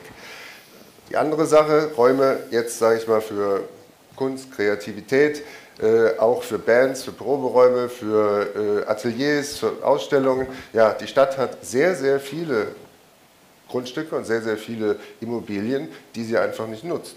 So. Und Herr Scholbach hat zwei schon angesprochen, aber es gibt noch viel mehr. Also, man sollte einfach gucken, dass diese Immobilien dann an eine Initiative, einen Verein oder wie auch immer äh, abgegeben werden, vielleicht so Zwischennutzung für zwei Jahre, fünf, für zehn und dann äh, hätten wir dort schon wieder Flächen geschaffen.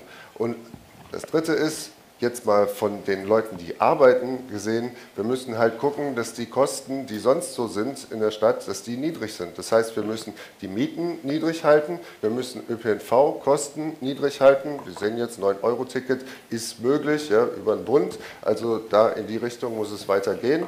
Und alle anderen Kosten, wie zum Beispiel Kita-Kosten, müssen auch sinken. Bäh.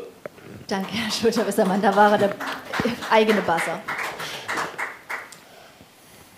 Ich würde jetzt Frau Jenigen noch mal die Möglichkeit geben, zu der mhm. Diskussion von erst, es ging um die Infrastruktur, ähm, zu antworten. Bitte sehr. Dankeschön. Transport und Versorgung ist eine Frage der Kosten und der Organisation. Und ich sehe hier die große Aufgabe für die kommende Oberbürgermeisterin, die Stadt klimaneutral zu machen rechtzeitig klimaneutral zu machen. Das heißt, den öffentlichen Verkehr so zu beschleunigen und zu verdichten und so viel Infrastruktur für Radverkehr anzubieten, dass man sicher in den Nordraum kommt.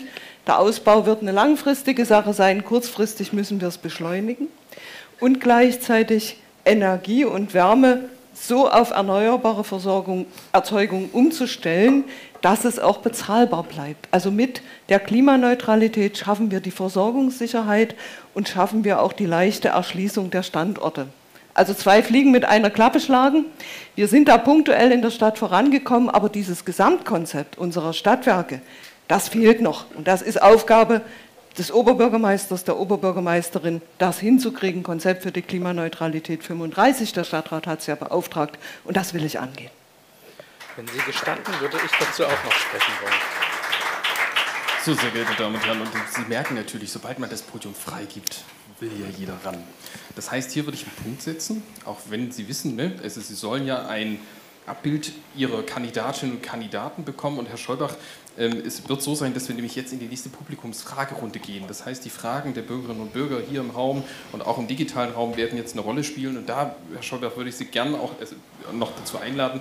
Ich zähle dann immer runter bis zehn und Sie haben die ersten zehn Sekunden frei Und wenn die zehn Sekunden frei sind, um darauf zu antworten, dann gehen wir dann weiter.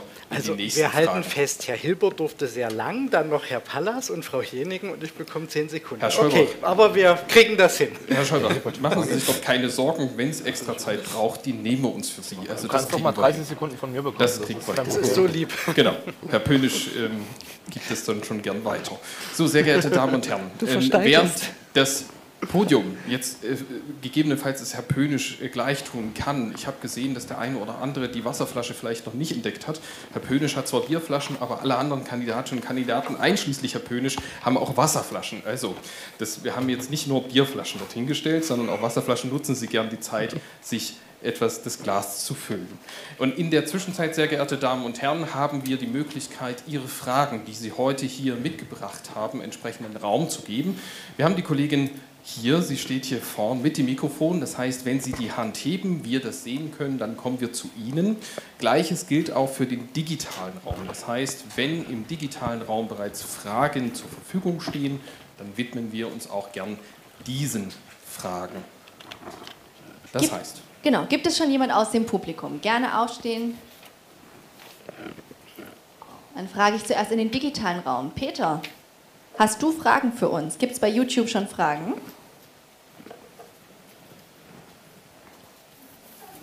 Peter natürlich nicht. Alle ein bisschen schüchtern.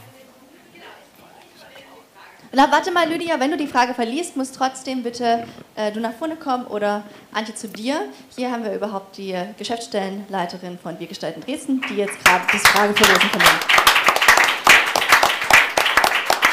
Ich habe von Renny Koretz von, von unserem YouTube-Stream die Frage direkt an Herrn Hilbert. Wer trägt die Verantwortung dafür, dass Sie in den letzten sieben Jahren nicht fertig geworden sind? Das hatte ich doch beantwortet. Das, weil wer nicht fertig geworden ist? Wer trägt die Verantwortung, Verantwortung, dafür, dass Sie, Herr Hilbert, in den letzten sieben Jahren nicht so, fertig jetzt, geworden jetzt sind? Ich nehme an, das schließt oder knüpft an an die Frage oder Beantwortung zum Anfang. Mhm weil wir in äh, Deutschland komplizierte, langwierige Prozesse haben, Genehmigungsverfahren ähm, und dann ähm, dauern äh, die Prozesse in der Umsetzung. Und ähm, deswegen ähm, will ich auch ähm, die, meine Projekte zu Ende bringen. Was ist das? Verwaltungszentrum. Haben wir ein, ein, großes, den Einstieg in die Digitalisierung in wirklich in so einer Form, wie sie in kaum einer anderen deutschen Stadt in der Nachhaltigkeit ähm, umgesetzt wird. Aber wir haben äh, große Projekte in der weiteren Umsetzung, damit eben die Wirtschaft weiter wachsen kann in unserer Stadt. Dafür sind infrastrukturelle Ausbauten in der Stadt notwendig. Die müssen einmal vorbereitet, geplant und dann umgesetzt werden. Aber wenn ich nur sage, wir sind ja heute Mitveranstalter Silicon Saxony, ähm, ungefähr 50 Prozent der städtischen Infrastrukturen sind notwendig für die Halbleiterindustrie. Das gibt ungefähr eine Dimension, die müssen deutlich ähm, erweitert werden. Das ist in der Vorbereitung, bedarf aber eben langwieriger Prozesse. Das werden wir in Magdeburg genauso sehen. Und ich will auch sagen, wenn sich Herr Pallas immer hinstellt und sagt, Mensch, der hat da in der Region ähm, da nichts gemacht. Also sein Finanzbürgermeister hat mir deutlich aufgeschrieben und sagt, du darfst gar nicht in der Region investieren. Ich frage mich, wo ist, der, wo ist das SMWA? Seit 20 Jahren von Sozialdemokraten fast durchgehend geführt. Wo haben sie die Infrastrukturthematik gemacht? Wir erst als mit der Gründung der Sachsenenergie letztes Jahr haben jetzt den äh, Impulsgeber für die Gesamtregion geschaffen und äh, übernehmen das auch. Wenn Sie auf andere zeigen, dann bringen Sie wenigstens richtige Fakten. Und Sie wissen, ganz, Sie wissen ganz genau, dass äh, gemeinsame Gewerbeflächen sehr wohl entwickelt werden können. Sie müssen eben nur regeln, wie der steuerliche Ertrag zwischen den Gemeinden äh, festgelegt wird. Das ist eine Entscheidungsfrage. Das kann man machen das oder man lässt es bleiben, Herr Hilbert. Also bitte nicht immer auf andere zeigen, wenn es nicht läuft, sondern auch mal Verantwortung übernehmen. Sie müssen richtig äh, Fakten bringen und müssen sich die Vermerke mhm. angucken. Und wenn Sie das haben, und das gelesen haben, können Sie dann wieder reinkommen zu diskutieren. Aber jetzt würde ich auch gerne nochmal nachlegen. Wir haben nämlich tatsächlich die Situation, dass wir hier eine einzigartige Forschungslandschaft haben, aber dass komischerweise relativ wenig wirtschaftlicher Ertrag oder nicht so viel wie sein könnte herausgeht. Und es liegt auch daran, weil einfach zu wenig Wagniskapital ist. Der Wagniskapitalmarkt ist nämlich nicht so, so global, wie es immer gesagt wird, sondern äh, gerade sehr wohlhabende Family Offices und so weiter investieren dann eher lokal, was zum Beispiel erklärt, warum es in München äh, so viele Start-ups gibt. Und das kann man relativ einfach lösen, indem man durch die öffentliche Hand so eine Art äh, staatlichen Technologiefonds aufbaut, der Aktien kauft und dafür Geld hereingibt. Und die Dresdner Szene würde, nach dem, was ich recherchiert habe und was man mir auch bestätigt hat, durchaus 30 bis 50 Millionen Euro Investitionen im Jahr absorbieren können und in neue Technologiefirmen äh, umsetzen können.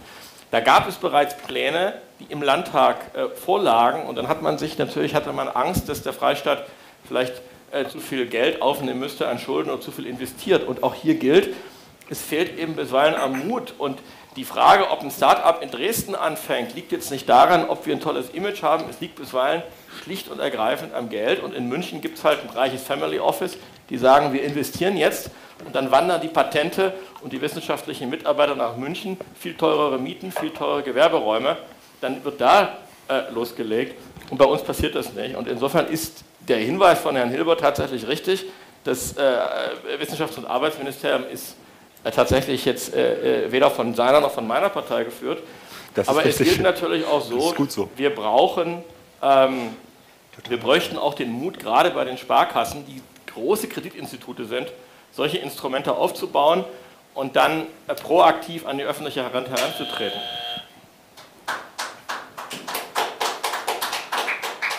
Gut, ich würde an der Stelle Sie überlegen mal bitte noch eine Publikumsfrage. Oh, es gibt, gibt es, Entschuldigung, habe ich nicht gesehen, das Licht hat mich gerade geblendet. Okay, wir haben noch eine Publikumsfrage. Würden Sie kurz Ihren Namen nennen? Dafür ja, mein Name ist Christian Wegscheider, ich bin Orgelbauer. Eine Frage an Frau Jenichen. Sie haben über Alltagsrassismus gesprochen, meinen damit auch sicher Diskriminierung, wenn ich das recht sehe. Sie nicken. Warum sind dann die zwei unabhängigen Oberbürgermeisterkandidaten hier nicht da? und werden hier nicht zugelassen. In der Einladung stand, dass nur diejenigen, die in der Stadtfraktion sind, hier eingeladen wurden. Das ist schon eine Diskriminierung aus meiner Sicht. Und soweit ich weiß, ist die Partei auch nicht im Stadtrat vertreten. Doch, so doch. doch Dissidentenalter. Die Frage geht an mich. Unter den Dissidenten. Oh, gut, okay. Oder? Äh, Frau Jenigen, ich würde gerne die Frage nicht an Sie geben, sondern an Andreas. Der kann ich, das Ihnen ganz genau erklären. Oder äh, Frau Jenigen kann ja dann noch mal, wenn sie möchte, gern noch kurz ergänzen. Also die Frage nach, warum sitzen hier nicht alle Kandidatinnen und Kandidaten, haben wir zu Beginn geklärt. Also Fraktionsbezug im Dresdner Stadtrat, da haben wir das auch so gesagt. Wir haben ja auch schon erwähnt, drei Stunden Veranstaltungszeit. In der Regel sind es immer die goldenen zwei Stunden. Nehmen wir noch zwei Kandidaten dazu oder gegebenenfalls wenn wir in anderen Wahlen sind 13, 14 Kandidaten dazu, können wir ein solches Wahlforum nicht umsetzen.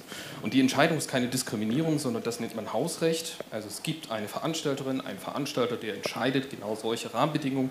Und an diese Rahmenbedingungen müssen wir und werden wir uns auch halten. Wenn Sie damit nicht einverstanden sind, dann können Sie auch bei solchen Veranstaltungen, Sie müssen nicht hier sein, sondern Sie können das tun. Und Sie sind herzlich eingeladen, das zu tun. Und deswegen haben wir gesagt, die relevanten Akteure, die auch entsprechend dabei sind, die sitzen hiermit auf dem Podium.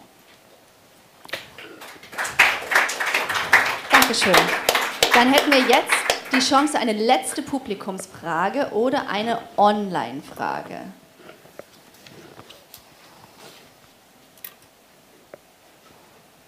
Da ist jemand. Oder, äh, hier vorne ist noch eine Online-Frage da. Okay. Caroline Gerlach, eine der beiden neben Lydia Göbel Hauptorganisatorinnen der heutigen Veranstaltung. Hallo, ich stelle eine private Frage. Ähm, nun haben wir vorne äh, sieben Menschen, die kandidieren. Wir haben heute gehört, in Wirklichkeit sind es sogar neun, die für die Wahl zur Verfügung stehen. Ich mache Briefwahl, ich habe mich noch nicht entschieden, aber ich habe die Liste schon zu Hause. Vielleicht ähm, ermöglicht mir dieses Forum heute, äh, dann eine Entscheidung zu treffen. Ähm, nun bildet sich die Stadtgesellschaft ja nicht ähm, zu acht Neunteln aus Männern im etwa gleichen Alter, sondern mich interessiert ganz konkret gerne diejenigen, die dazu auch einen Fakt und nicht nur eine Emotion haben. Wie können Sie die Stadtgesellschaft, wie sie sich in verschiedene Kategorien aufteilt, auch in der Verwaltung, in der Politik und allgemein in der Beteiligung abbilden? Denn die Selbstverständlichkeit ist meine ganz private Meinung, mit der es neun Menschen gibt, die für das größte ja, ähm, äh, ähm, Amt in Dresden amtieren oder zumindest äh, das gerne tun möchten. Die Selbstverständlichkeit, mit der acht Männer sich aufstellen lassen und mit der eine Frau in dieser sehr unangenehmen, sehr machistischen Situation manchmal umgehen muss, ähm, das bildet nicht ab, wer wir in der Gesellschaft sind. Und da möchte ich von Ihnen nicht emotionale, sondern tatsächliche Fakten, wie Sie diese die Zusammensetzung der Gesellschaft in Dresden auch in Politik und in Verwaltung umsetzen. Denn das müssen Sie tun.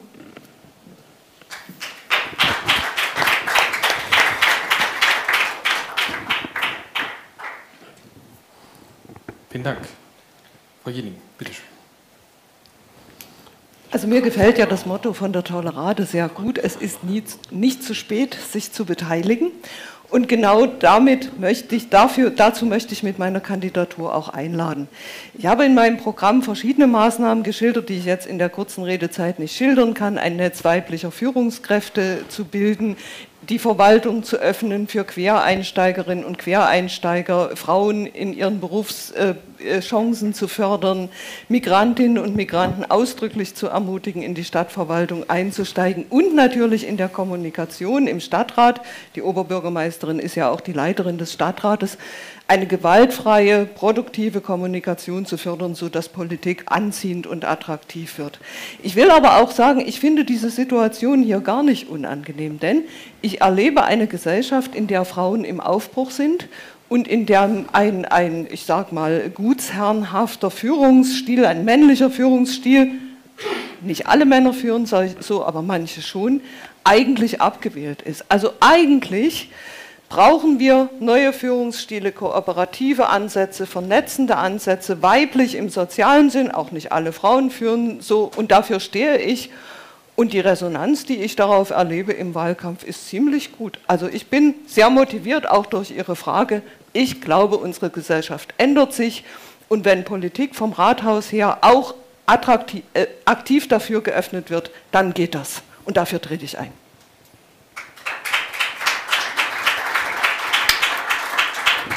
Vielen Dank. Gibt es weitere Antworten vom Podium? Herr Pallas. Sehr gern. Ähm, ich glaube, da darf man erstmal sich auch nicht wegducken, sondern muss äh, da auch Stellung beziehen zu. Ähm, zunächst mal erlebe ich es als Mann auch so, dass da was in Bewegung ist, dass, wir, äh, dass es selbstverständlich darum gehen muss, äh, als Gesellschaft zwischen den Geschlechtern Macht, Einfluss, Repräsentation zu teilen. Punkt. Äh, und nun gehen verschiedene Gruppen in der Gesellschaft damit verschieden um. Jetzt bin ich ein Politiker der SPD. Ähm, jetzt ist es bei der OB-Wahl so, es gibt einen Kandidaten oder eine Kandidatin. also man hat die Wahl entweder oder. Wenn Sie sehen, wie zum Beispiel Listen aufgestellt werden für Parlamentswahlen, gibt es zum Beispiel bei uns, auch bei anderen Parteien, so ein Reißverschlussverfahren, dass also Frauen und Männer angemessen repräsentiert sind. Das ist ein politisches Mittel, um äh, als Partei und auch in den Parlamenten die Geschlechter angemessen zu repräsentieren. Und so ist es beispielsweise gelungen, dass wir jetzt hier in Dresden eine ganz wunderbare äh, neue SPD-Bundestagsabgeordnete haben, äh, die auch äh, also insgesamt toll ist, aber halt, äh, wo auch gut ist und von vielen anerkannt wird, dass es eine Frau ist. Aber das ist nur ein Beispiel. Ich glaube, Repräsentation umfasst ganz viel mehr Themen und Gruppen. Immer mehr Menschen in unserer Stadt haben den Eindruck, dass die Stadtverwaltung sich nicht um ihre Alltagsprobleme kümmert, sie noch nicht mal sieht äh, und dementsprechend auch nicht sozusagen in der Politik oder in der Verwaltung äh, vorkommt. Da geht es um die Frage, wird jeder Stadtteil wahrgenommen? Wie nehmen wir jeden Stadtteil wahr? Und es koppeln sich tatsächlich ganze soziale Gruppen auch ab vom Geschehen in der Stadt. Und das müssen wir auch, also auch ernst nehmen. Ähm, genauso ernst. Oder äh, die Frage, äh, welcher Religion, welcher ethnischer Herkunft Menschen sind, das muss sich in der Stadtverwaltung abbilden, genau wie im Stadtrat und in allen anderen Teilen der Gesellschaft. Danke. Vielen Dank, Herr Pallas. Wir haben weitere Redebeiträge von Herrn Hilbert, Herr Schulte-Wissermann und Herr Scholbach. Herr Hilbert. Ja, also eine Geschlechtsumwandlung schaffe ich nicht mehr, aber als Amtsinhaber kann man nur mit dem Geschlecht antreten, was man hat. Wichtig ist aber, wenn man anschaut, wie sah äh, es vorher aus, in der vorhergehenden Amtsperiode gab es eine Oberbürgermeisterin und auf der nächsten Ebene ausschließlich Männer ähm, und auch äh, in den Amtsleiterstrukturen. Wir haben es geschafft, ähm, in der, und mit meinem Einvernehmen, ähm, eine Führungsriege, ähm, die ähm, ungefähr paritätisch ist sowohl auf der Amt, äh, Bürgermeisterebene. Wir haben in den letzten Jahren viel mehr Amtsleiterinnen eingestellt als Amtsleiter, damit eine deutliche Ausweitung auch ähm, der ähm, Damen in unserer Runde und das tut uns als Stadtverwaltung auch gut. Was mir aber außerordentlich wichtig ist, und das ist tatsächlich, dass wir mehr Menschen mit Migrationshintergrund auch in die Verwaltung ähm, hineinbringen. Ja, und da engagiere ich mich wirklich ähm, und nachdrücklich. Und immer wieder äh, hake ich danach, warum sind ähm, nicht ähm, mehr Praktikumsplätze geschaffen, warum haben wir nicht mehr Leute eingestellt, ist regelmäßiger Rapport und immer wieder kritisches Hinterfragen. Und äh, das gilt für alle Bereiche. Und äh, das beginne ich bei meinem ersten Umfeld äh, direkt, hier mehr Forderungen zu machen. Und das gilt für die gesamte Stadtverwaltung. Wir müssen mindestens ein Spiegelbild der Gesellschaft sein. Und das ist mir außerordentlich wichtig. Und falls Sie es nicht wissen, ich lebe das jeden Tag, das Thema Interkulturalität. Vielen Dank. Herr Schulte-Wissermann. Ja, Herr Böhnisch, Sie können jetzt so lange erstmal den Finger hochhalten, bis wir bei Herrn Schulte-Wissermann und Herrn Schollbach waren und dann. Okay, gern. Dann, dann Aber lassen Sie gern die Hand oben, das ist eine gute Übung. Herr Schulte-Wissermann, bitteschön. Es war ja nach konkreten Maßnahmen gefragt worden und eine konkrete Maßnahme wäre anonymisierte Bewerbungen in der Stadtverwaltung, dass ich also nicht anhand des Namens oder äh, des Fotos sehe, wer da erstmal vor mir ist. Ähm, das ist eine konkrete Maßnahme, die kann man umsetzen. Ähm, die zweite Sache, es geht eher an Sie, an euch.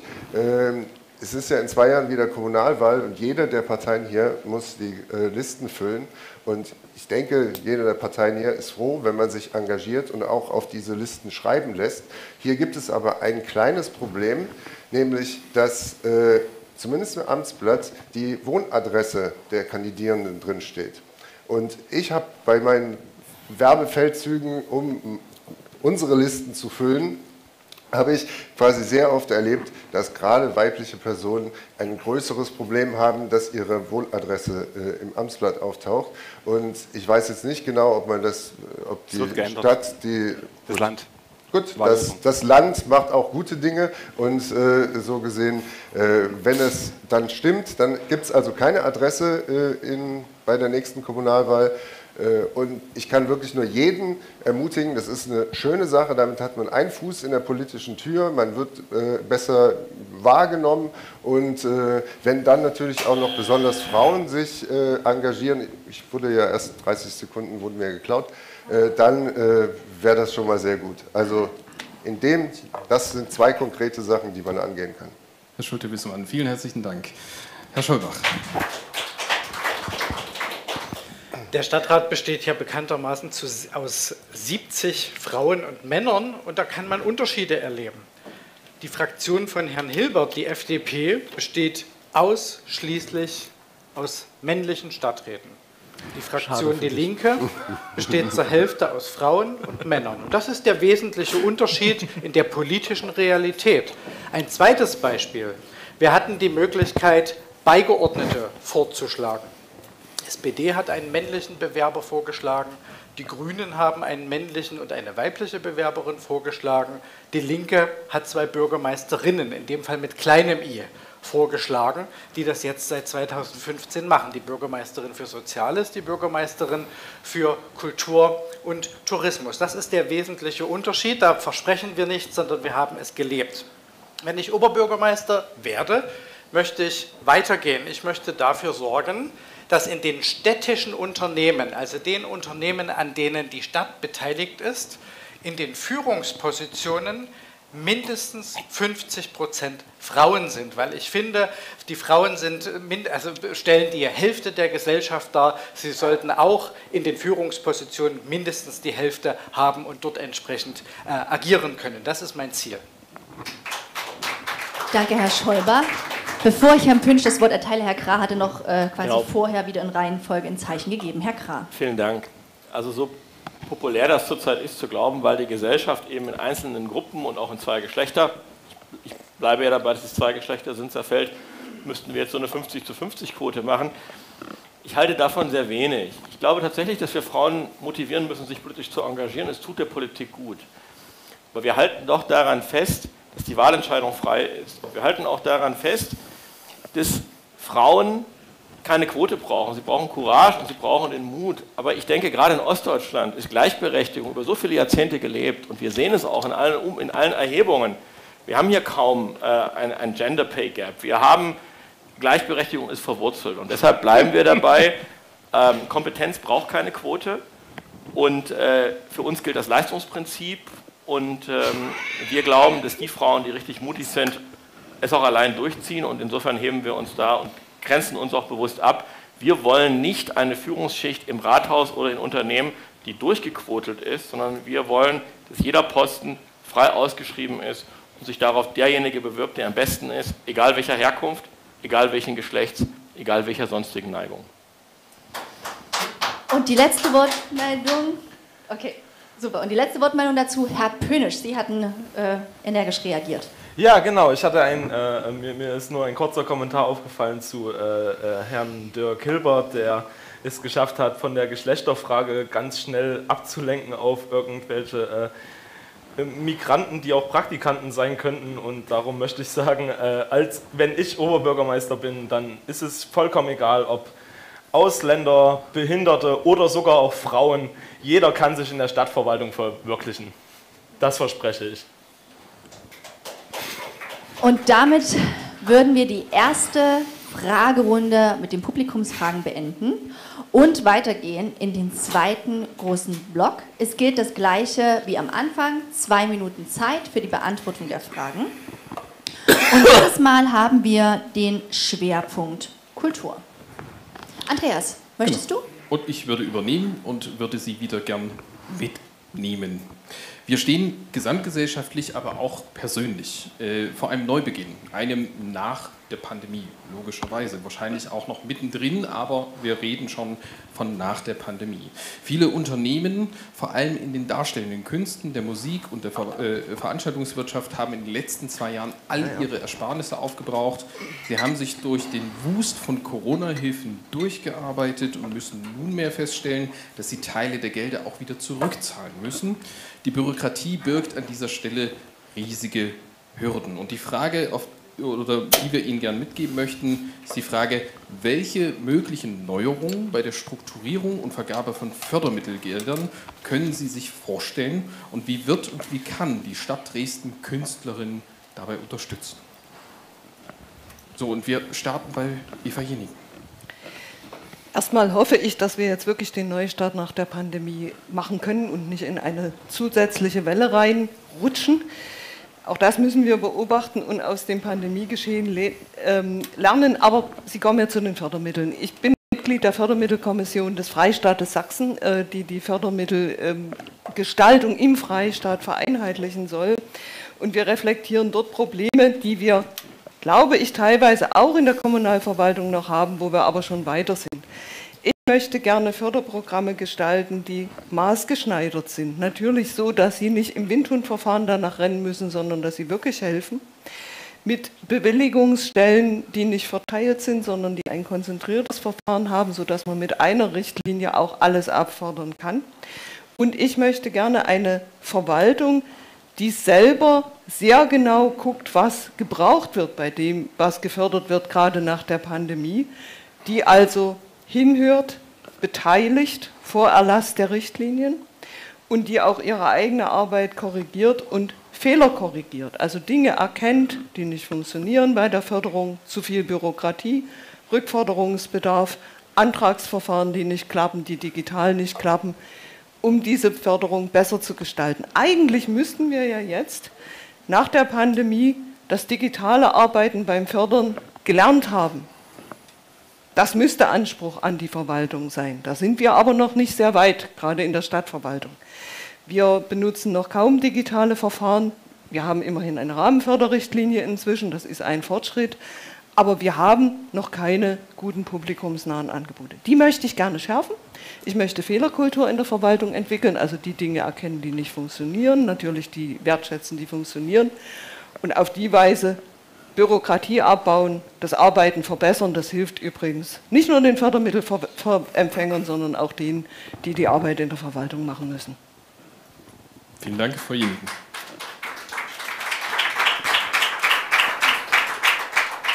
Und vielen Dank auch Ihnen für die Wertschätzung. Hervorragend. Herr Pallas, bitteschön. Danke, Herr Tietze. Ähm, es geht konkret um die Neustrukturierung oder Schwerpunkte bei der Fördermittelvergabe im Bereich der Kultur. Dresden ist eine Stadt mit großer kultureller Tradition. Das ist uns allen, glaube ich, sehr bewusst, immer wieder und jeden Tag. Und das macht auch einen Teil äh, unserer, des Wohlbefindens hier aus, der Schönheit der Stadt. Und äh, wir haben in den letzten Jahren auch äh, mit den Kulturfördermitteln da einige Schwerpunkte gesetzt und einiges erreicht. Das war als Stichworte ähm, der Kulturpalast, äh, auch die Philharmonie und die Unterstützung dafür oder ähm, etwa das äh, Kultur- und Kunstkraftwerk Mitte, Kulturkraftwerk Mitte. Ähm, und wir haben da jetzt einen Stand erreicht, wo wir in der Lage sind, den Blick in eine andere Richtung zu lenken. Und wir brauchen für Dresden, wenn wir diese Entwicklung, die wir vorhin schon besprochen haben, wollen, also wieder spannender zu werden, jüngeres Publikum, Kreative einzusprechen, brauchen wir auch im Bereich der Kultur eine vielleicht etwas andere Schwerpunktsetzung. Wir brauchen zur Tradition eben auch die Innovation. Und da bin ich bei äh, der freien Szene, da bin ich bei äh, Stadtteilkultur, sowohl im Zusammenhang mit äh, Reach-out-Projekten, also wo es darum geht, durchaus hochkulturelle Angebote niedrigschwellig ähm, in den Stadtteilen vor Ort anzubieten, oder aber, ähm, wenn es um, das, die Projekte der ähm, Kultur- und Nachbarschaftszentren geht, die in allen Stadtbezirken bestehen sollen, also Frei- und Begegnungsräume für Junge, für Ältere, für Menschen unterschiedlichster Herkunft, aber halt niedrigschwellig vor Ort. Das erfordert städtische äh, Finanzierung oder wenigstens Unterstützung. Und ähm, da würde ich gerne einen Schwerpunkt setzen, weil ich glaube, dass es genau jetzt die Zeit ist, äh, wieder einen neuen Aufbruch äh, zu erzeugen, äh, auf der Tradition aufzubauen und uns jetzt ähm, mit aller Kraft in Richtung äh, Zukunft äh, zu entwickeln. Und da spielen ähm, eben unter anderem ähm, freie Szene oder auch bürgerschaftlich, ehrenamtlich getragene kulturelle Angebote eine ganz, ganz wichtige Rolle, bis hin zu äh, Bibliotheken und Museen, die auch wunderbare Angebote sind und auch dritte Orte für Begegnung. Ähm, das äh, würde sie sozusagen mit einem Oberbürgermeister Albrecht Pallas erwarten. Danke.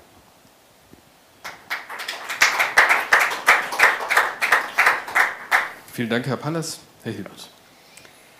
Also was die Corona-Hilfen angeht, hat ähm, die Stadt hier bei ihren Soforthilfen gerade darauf Wert gelegt, dass sie unbürokratisch und schnell ausgereicht werden können. Weil wir nämlich die Erfahrung gemacht haben, gerade aus dem Hochwasser, ähm, dass wenn es lange dauert, wenn es ähm, Unsicherheiten streut, dass ähm, man damit jetzt nie auch den Mut in die Zukunft aufbauen kann.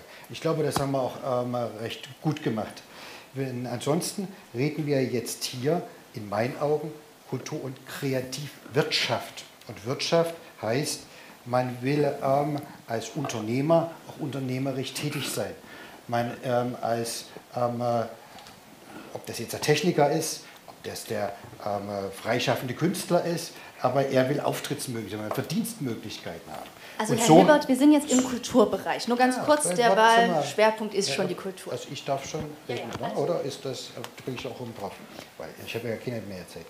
Also nochmal ganz kurz, wir sind in der Kreativwirtschaft äh, tätig und in der Wirtschaft heißt es, und so haben wir die äh, entsprechenden Förderprogramme ausgelegt, dass wir sagen, wir fördern ähm, das Unternehmertum, also ähm, dass sie dann eben entsprechend gestalten können. Und wir machen das, weil wir nicht schlauer sind als die Branche, machen mit ähm, dem Branchenverband nämlich mit WGD. Deswegen haben wir die Programme, die wir aufgelegt haben, immer in Kooperation mit der WGD aufgelegt und sagen Unternehmer für Unternehmer, Kreativraumförderung, läuft alles über den Verband ähm, in ähm, der Umsetzung, um wirklich nah an den Bedürfnissen ähm, derjenigen zu sein, die es äh, machen äh, und die eben starten wollen damit in das äh, Umentwicklung. Jetzt kommen wir zu der Kulturförderung.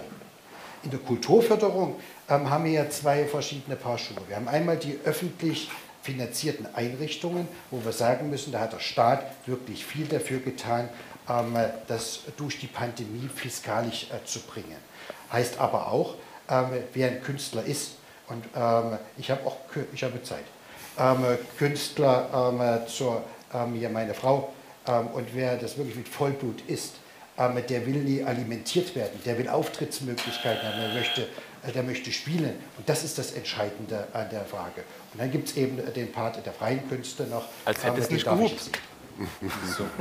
Und ähm, sehr geehrte Damen und Herren, das ist ja auch typisch für Wahlforen. Und ich habe mir nämlich hier, das muss ich Ihnen auch nochmal sagen, auch den Namen Scholbach noch aufgeschrieben. Er hat nämlich noch 10, 15 Sekunden. on Mehr, top. viel mehr. Ja, ja, das ist klar. Der Das kriegt auch noch Zeit von mir. mehr.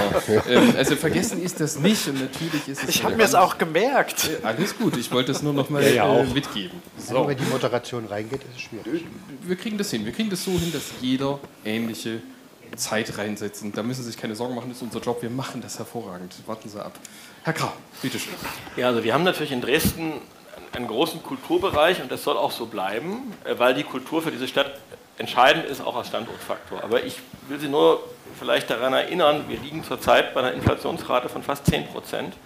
Wir laufen in einen aller Voraussicht nach sehr unangenehmen Winter herein. Das heißt, wir müssen auch schauen, dass das natürlich, dass der Spielraum ist nicht endlos. Und deshalb bin ich jemand, der dafür wirbt, dass wir auch Schwerpunkte setzen. Ich war heute Morgen, äh, habe ich informiert, im Club Passage in Gorbitz.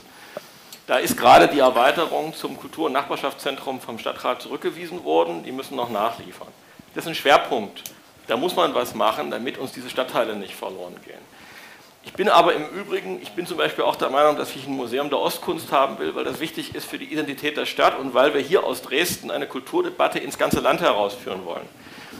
Das heißt aber umgekehrt auch, dass wir bei Kulturangeboten und auch bei der Unterstützung der Kreativwirtschaft achten müssen, dass natürlich wir nicht 100% fördern können, sondern dass natürlich Kultur für die Menschen da ist und dass dann auch ein gewisser Beitrag, Obolus, Eintrittspreis gezahlt wird. Ich bin also kein Fan der 100% Förderung, sondern ich glaube, was nichts, wert, was nichts kostet, ist nichts wert. Und wir müssen schon fragen, wen erreichen wir? Kultur für die Menschen und nicht Kultur für die Kulturschaffenden. Und da ähm, denke ich, ist eine Evaluation nötig und steht auch an. Und ansonsten, es bleibt dabei, dass Kultur wichtig ist als Identitätsanker.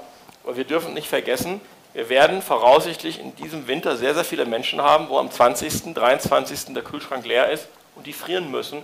Deshalb ist das Budget begrenzt. Vielen Dank. Und wir können weitergehen. Herr Scholbach.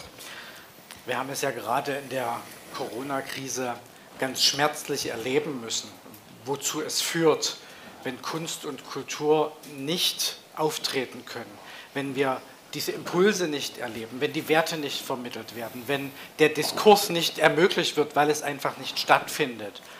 Ich glaube, jetzt brauchen wir vor allem Verlässlichkeit, Planbarkeit für Kunst, Kultur und Kreative.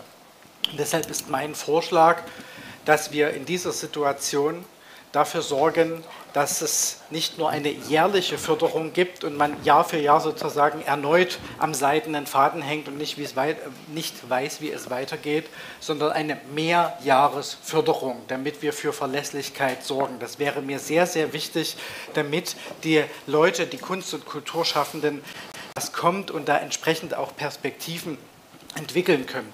Das halte ich für ganz, ganz wichtig. Noch ein Punkt. Herr Hilbert hat angesprochen, es habe ein Förderprogramm gegeben. Das ist richtig. Das Problem ist nur, dieses Förderprogramm ging an den Bedürfnissen wesentlicher Teile vorbei. Wer nämlich gar kein Büro betrieben hat oder wer sozusagen keine laufenden Betriebskosten hat, eben ein Künstler im, im, darstellenden Spiel, äh, wo das in dieser Weise nicht anfällt, der hatte von diesen Förderprogrammen nichts. Oder äh, beispielsweise nehmen Sie den Puppenspieler, ja, der, der nicht auftreten kann. Ein Riesenproblem. Und diese Leute wurden allein gelassen und das darf nicht noch einmal passieren, dass man dann praktisch, äh, Herr Hilbert, jetzt bin ich dran, an. Sie dürfen dann auf mich reagieren, wenn Sie mögen. Nicht beim städtischen Förderprogramm, beim Landesjahr. So, ähm, wir, dürfen, wir, wir müssen dafür sorgen, und das ist eine große Verantwortung, dass in dieser Situation Künstlerinnen und Künstler, Kreative nicht auf Hartz IV zurückfallen durch eine Situation, die sie nicht verschuldet haben, für die sie gar nichts können. Und das ist eine Verantwortung von Stadt und Staat. Danke, Herr Scholbach. An der Stelle ähm, würde ich die Ergänzung, die ich glaube, Herr Hilbert sagen wollte, nochmal mit einwerfen. Das städtische Programm, das war eine Soforthilfe über 1000 Euro. Die ging wirklich sofort raus, super schnell, ohne großes Tamtam -Tam und ungebunden. Ähm, die SAB-Förderung, die auf äh, sächsischer Ebene rausgegeben wurde, die war eben gekoppelt an ähm, genau diese Richtlinien, dass ich nur einen Teil meiner Ausgaben finanziere und äh, nicht mein Unternehmerinnengehalt zum Beispiel mit anrechnen kann. Herr Schulte-Wissermann.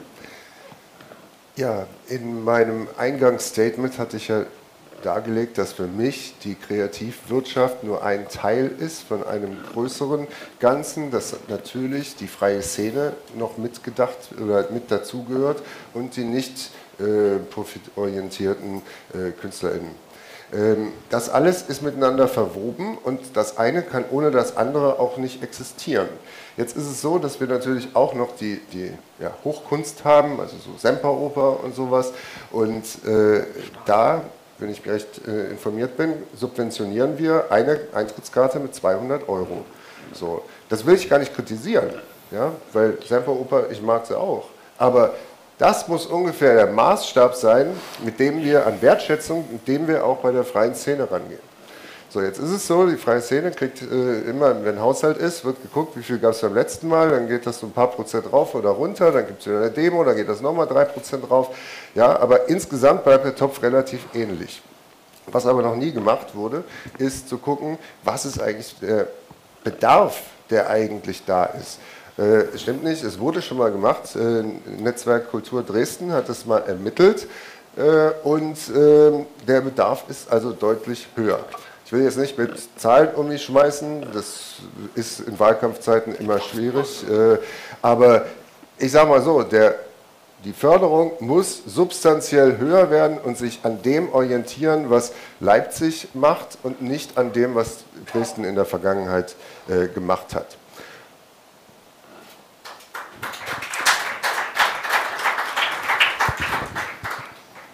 Herr Pönisch. Ja, ich muss erst mal sagen, Du siehst sehr schlau aus. Du hast zwei Brillen auf. Das, das macht wirklich, das macht schlau sowas. Creepy, ich möchte wa? zuerst anknüpfen an äh, äh, das, was äh, der äh, Herr Krage gesagt hat über die Nachbarschaftszentren in Gorbitz. Also ich finde das auch ein sehr wichtiges Thema, dass es äh, Nachbarschaftszentren gibt, dass es überhaupt so Zentren gibt für Menschen, die sozial gesehen halt wirklich überhaupt nirgendwo reinpassen, dass die irgendwo hingehen können und dass, dass die nicht rumstören. Und darum finde ich Nachbarschaftszentren ein sehr wichtiges Thema, aber zu dem Thema, äh, dass, dass der Stadtteil, also das fand ich eine lustige Formulierung, dass der Stadtteil Gorbitz verloren gehen könnte, das kann natürlich nicht passieren, weil für mich ist Dresden Gorbitz. So. Also das ist da, wo es Gramm noch ein Achter kostet. So. Das ist, ich liebe Gorbitz. Also ich trete auch an für Gorbitz. Und weil ich noch eine Minute habe, sage ich jetzt mal Frage 2. Hallo Herr Pönisch, erstmal vielen Dank, dass Sie heute hier sind. Sie sind sehr hübsch anzusehen. Oh, Dankeschön. Äh, nun meine Frage, Sexy. Äh, mit der Erderwärmung steigt die Temperatur bis zur sommerlichen Hitzewelle an. Wie und wann wollen Sie die Mikroklimatisierung durch Bäume, Grünzüge und Wasseroberflächen vorantreiben? Stichwort hitzeresiliente Stadt. Ja, sehr gute Frage, Baby. Äh, Grünflächen sind für mich wirtschaftliches Brachland. Wir müssen entscheiden, Gras beim Wachsen zuzusehen oder einen Haufen Schotter zu verdienen. Bäume sind für Dorfnasen, die zivilisierte Stadtbevölkerung will Beton, Stahl und Neonlicht. Das Klima ist sowieso nicht mehr zu retten und darum würde ich vorschlagen, Elb Florenz in Elb Dubai umzubenennen. Mashallah. So, das war wieder ein Beitrag von Herrn 15 Sekunden noch für Herrn Schäuber. Jetzt, deine Chance. Die kommen dann noch mit drauf, ne? Wir sammeln. Ich wollte schon, wollt schon, fragen, ob Sie ein Zwiegespräch mit Herrn Hilbert Ihre 15, aber hervorragend, wir machen das. Ähm, ich schreibe mir das auf. Dann ja. wir mal, was wir damit machen. Ähm, sehr geehrte Damen und Herren, ähm, dann lassen Sie uns gerne zur zweiten Frage. Unbedingt, kommen. unbedingt. Und zwar, wir haben es jetzt schon ein bisschen angedeutet, das ist der zweite Teil der Kulturfrage. Viele der Kultur- und Kreativschaffenden haben es ja in den letzten zwei Jahren am eigenen Leib erfahren, was es bedeutet, nicht systemrelevant zu sein. Und dabei parallel eine selbstständige Tätigkeit nachzugehen.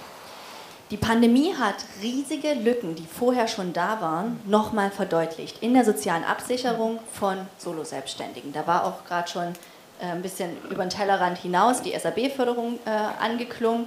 Ich möchte jetzt gerne von Ihnen, liebe Oberbürgermeisterinnenkandidaten, wissen, welche Möglichkeiten sehen Sie, sich für eine bessere soziale Absicherung einzusetzen und damit auch die Altersarmut von Solo-Selbstständigen, vor allem in der Kultur- und Kreativwirtschaft, zu vermeiden.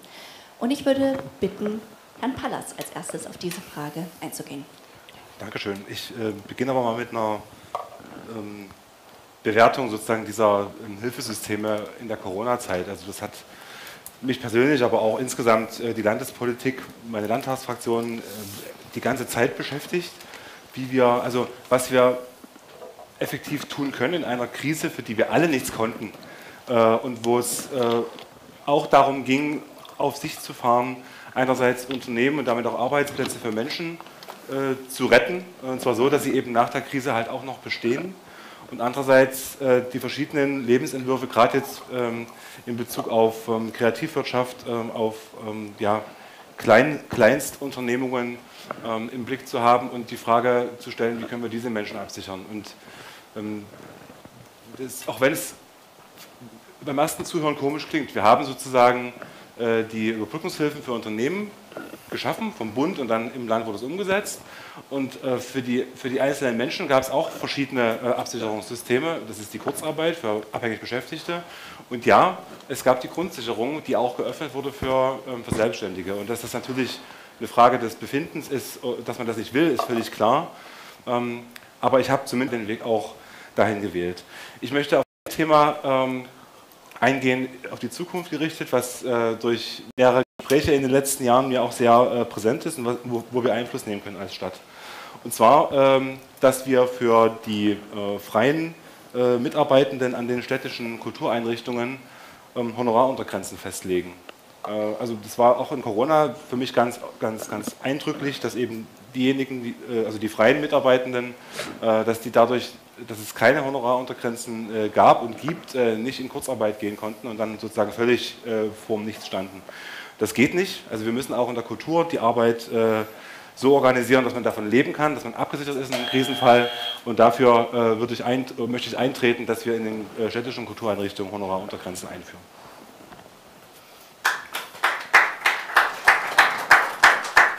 Herr Pallas, vielen Dank. Herr Hebert, bitteschön. Also wir sind uns alle, glaube ich, einig, dass wir in den letzten zweieinhalb Jahren eine besondere Ausnahmesituation erlebt haben.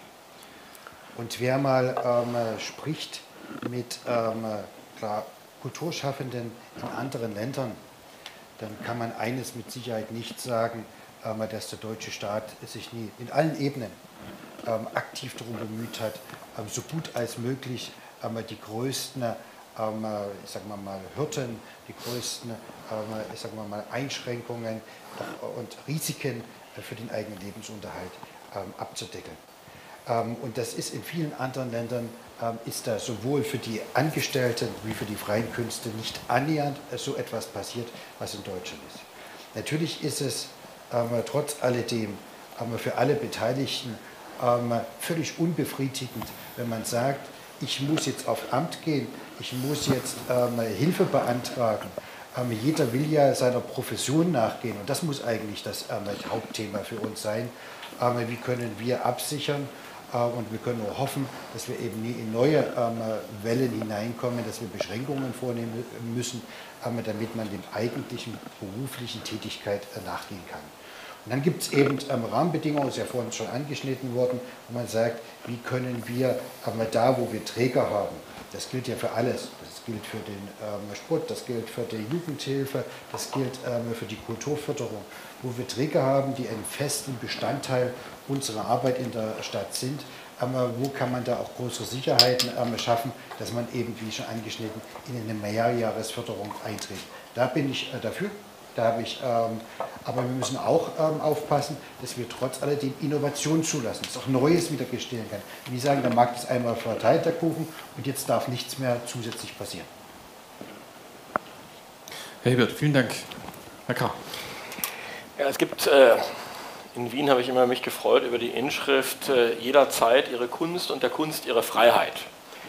So. Problem der Freiheit ist natürlich auch verbunden mit Risiko. Das hat auch den Nachteil, dass wir natürlich gerade in so einer, in so einer Situation wie der Pandemie äh, es ökonomisch äh, ein großes Risiko ist, das sich realisiert hat. Aber andererseits sind sie durch ihre Freiheit eben auch frei, äh, von staatlichen Bevormundungen und von Vorgaben. Und nehmen Sie ein Beispiel, einer der sicher berühmtesten Künstler unserer Stadt ist der Schriftsteller Uwe Tellkamp. Der hat irgendwann mal seine Anstellung als Krankenhausarzt aufgegeben, ist jetzt freier Schriftsteller. Äh, jetzt hat er ein Buch wieder veröffentlicht, da ist die erste Auflage vom Surkamp mit 75.000 Exemplaren in Druck gegangen. Gigantisch, nicht? Sie sehen also, Kunst braucht Freiheit. Herr Surkamp würde sicherlich bei den meisten öffentlichen Förderprogrammen schon aus politischen Gründen nicht berücksichtigt werden. Er will es auch nicht, weil er frei bleiben will. Weil er frei ist, ist er erfolgreich. Das heißt, ich verstehe natürlich gerade unter dem Eindruck der ökonomischen Notsituation der Pandemie diese Sehnsucht zu sagen, Staat, hilf mir. Aber es ist halt nicht die Art, wie ich glaube, dass Kunst Höchstleistungen produziert, identitätsstiftend ist und uns letztlich hilft, unsere Gegenwart durch Reflexion besser zu verstehen. Und insofern kann ich nur sagen, wir laufen in einen sehr, sehr schlimmen Winter rein mit 10% Inflation und natürlich soll niemand vergessen werden. Aber ich sehe keinen Spielraum jetzt noch für extra Programme, extra Renten und für so diese, diese Sehnsucht nach einer Quasi-Verbeamtung. ich übertreibe, äh, die wird nicht gehen, sondern genießen Sie Ihre Freiheit. Der Preis der Freiheit ist leider das Risiko. Danke, Herr Krah. Ich würde das gerne noch mal die Frage ein bisschen schärfen, vielleicht, wenn wir in die weitere Runde gehen. Ähm, wir reden hier nicht primär um die Corona-Pandemie, sondern es geht darum, dass die Corona-Pandemie etwas zum Vorschein gebracht hat, was es vorher schon gab, nämlich Nazis. Pro Probleme in der sozialen Absicherung und ähm, Altersarmut. Das ist nicht erst ein Problem, was wir in den letzten zwei Jahren haben. Äh, ein ganz konkretes Beispiel. Wenn ich krank bin, dann bekomme ich, weil ich Solo-Selbstständige bin, vier Wochen lang kein Geld von der Krankenkasse. Erst ab dann greift mein Tarif. Und ich zahle schon den höchsten Tarif, den ein Angestellter auch zahlen würde, müsste quasi in die private oder noch einen höheren Tarif zahlen. Darum geht es mir. Wie sieht es aus mit meinen Kindern, wenn ich kindkrank habe? Und die sind auch gerade wieder kindkrank. Ich bin gesund, keine Sorge. Und das andere ist, was passiert mit Frauen zum Beispiel, die solo selbstständig sind und in Mutterschaftsurlaub gehen. Also Mutterschaftsurlaub, was für ein blödes Wort. In äh, Mutterschaft gehen, in Elternzeit gehen und deshalb nicht arbeiten können. Wie sieht es in diesen Fällen aus mit den sozialen Absicherungen? Wie für TänzerInnen, für SchauspielerInnen, die mit ihren Körpern arbeiten? So. In diesem Sinne, Herr Scholbach. Wir müssen die soziale Spaltung unserer Stadt generell angehen. Das ist ein Riesenproblem. Eine Zahl dazu. In unserer Stadt sind über 78.000 Menschen arm oder armutsgefährdet. Diese Zahl dieser Menschen hat in der Amtszeit von Herrn Hilbert nochmal deutlich zugenommen, um viele tausend. Und das müssen wir angehen und da gibt es verschiedene Stellschrauben, die auch eine Stadt hat. Ich will ein konkretes Beispiel sagen, zum Beispiel die Fahrpreise bei Bus und Bahn in den vergangenen 15 Jahren um 50 Prozent erhöht. Das ist für viele Menschen ein Problem, die da wirklich sehr genau gucken, ob sie sich das erlauben können, mit Bus und Bahn zu fahren. Aber wir sind ja bei Kunst und Kultur. Deshalb auch hier zwei konkrete Punkte. Das eine ist, dass ich der Überzeugung bin, dass die Landeshauptstadt Dresden auch finanziell etwas tun muss, und zwar jenseits der großen Leuchttürme wie Kulturpalast, wie Kraftwerk Mitte, dass wir eine vielfältige Kulturlandschaft haben, in der die Kulturschaffenden auch von dem, was sie tun, anständig leben können. Und das ist vielfach nicht der Fall. Ich denke, wir müssen hier einfach in die Förderung investieren, sprich erhöhen. Das ist leider, wir haben da immer wieder als Linke im Stadtrat auch Versuche unternommen. Wir waren da auch zum Teil erfolgreich, aber eben noch nicht so, wie wir das gern werden. Wir sind da auch zum Beispiel an den Grünen gescheitert, die äh, da leider nicht an unserer Seite waren. Oder ein Punkt, wo ich mir mit Herrn Pallas einig bin, Honoraruntergrenzen, ganz wichtiges Thema die Honorarkräfte des Heinrich-Schütz-Konservatoriums, ein städtischer Eigenbetrieb, äh, thematisieren das regelmäßig zu Recht. Und da müssen wir ran. Das ist eine, eine ganz wichtige Aufgabe, um einfach dort für Gerechtigkeit zu sorgen und damit dafür, dass alle von ihrer Tätigkeit auch angemessen leben können. Vielen Dank, Herr Scholbach. Herr Schulte-Wissemann, bitteschön. Ja, es gibt ein interessantes Phänomen, äh, ich würde es mal mit Perspektivwechsel äh, beschreiben. Wenn also das Podium ist und man wird gefragt, sollen denn äh, die, die Löhne, sollen die hoch? Und dann sagen alle ja. Wenn man aber dann in einem Gremium ist und zum Beispiel über die HSKD ähm, Gelder, die Gehälter entscheiden soll, ähm, dann sieht das oft anders aus. Ja? Weil dann ach, geht halt nicht und so. Und da muss man einfach den Arsch in der Hose haben. Da muss man sagen, die Stadt muss, wenn sie, wenn sie mittelbar oder direkten Einfluss hat, muss sie die Menschen, die sie anstellt, äh, auch ordentlich bezahlen. So, das ist einfach Punkt. Und das, was man auf dem Podium sagt, muss man nachher auch umsetzen.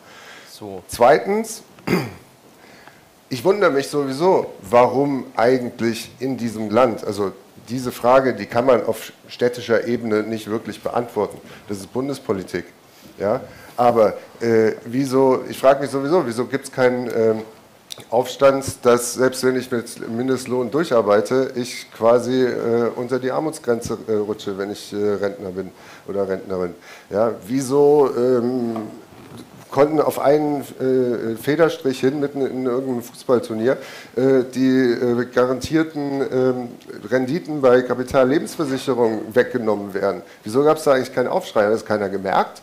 So, also die, die Politik ähm, erzählt viel, aber richtig was an dem Problem Altersarmut, kommende Altersarmut, jeder kann sich das ausrechnen, wie viel Rente man bekommt, macht es nichts. Und äh, ich als Pirat sage natürlich bedingungsloses Grundeinkommen, da haben wir einen unteren Sockel und auf, ab da kann ich dann dazu verdienen und das Erste, was ich dazu verdiene, behalte ich auch und dann irgendwann progressiert äh, quasi die Steuer dann los und wir haben sozusagen wirklich ein Umschichten in eine lebenswerte Welt.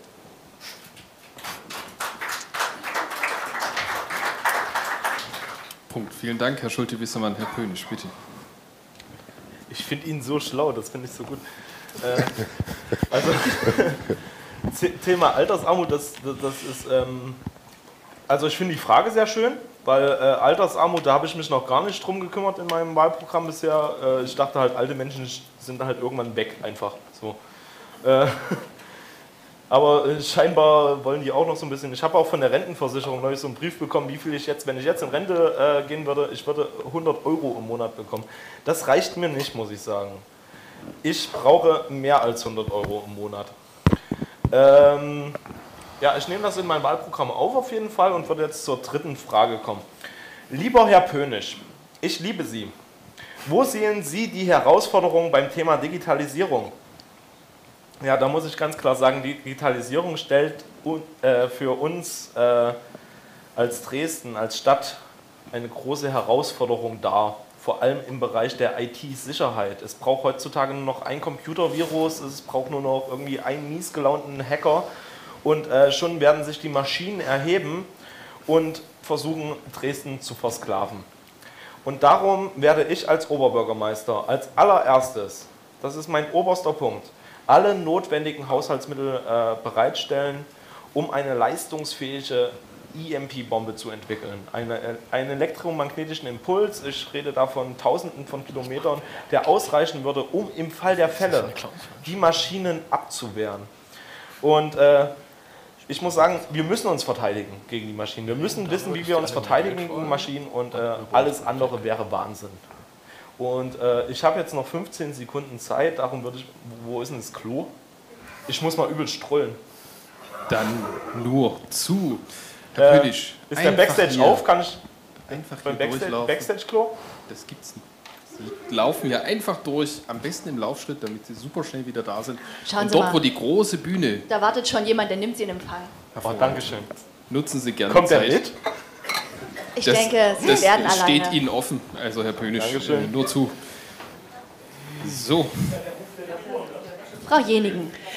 In mir würden Sie eine Oberbürgermeisterin haben und können Sie wählen, die Kultur für systemrelevant hält. Und das beziehe ich ausdrücklich auch auf die freie Szene. Wir brauchen die freie Szene. Wir können Kultur nicht nur aus dem, was wunderbare Menschen in wunderbaren Einrichtungen schaffen, äh, speisen, sondern wir brauchen die Selbstständigen mit ihren eigenen Ideen und ihrer Kreativität. Und dass jede und jeder ordentlich mit Rente und Krankenversicherung, Pflegeversicherung versorgt ist, das ist für uns ein Grundverständnis unserer Menschenrechte. Und dafür würde ich als Oberbürgermeisterin eintreten. Das klingt jetzt wie ein billiges Versprechen, aber die Oberbürgermeisterinnen und Oberbürgermeister der großen Städte, die werden in Deutschland schon gehört von einer Bundesregierung, von einem Städtetag.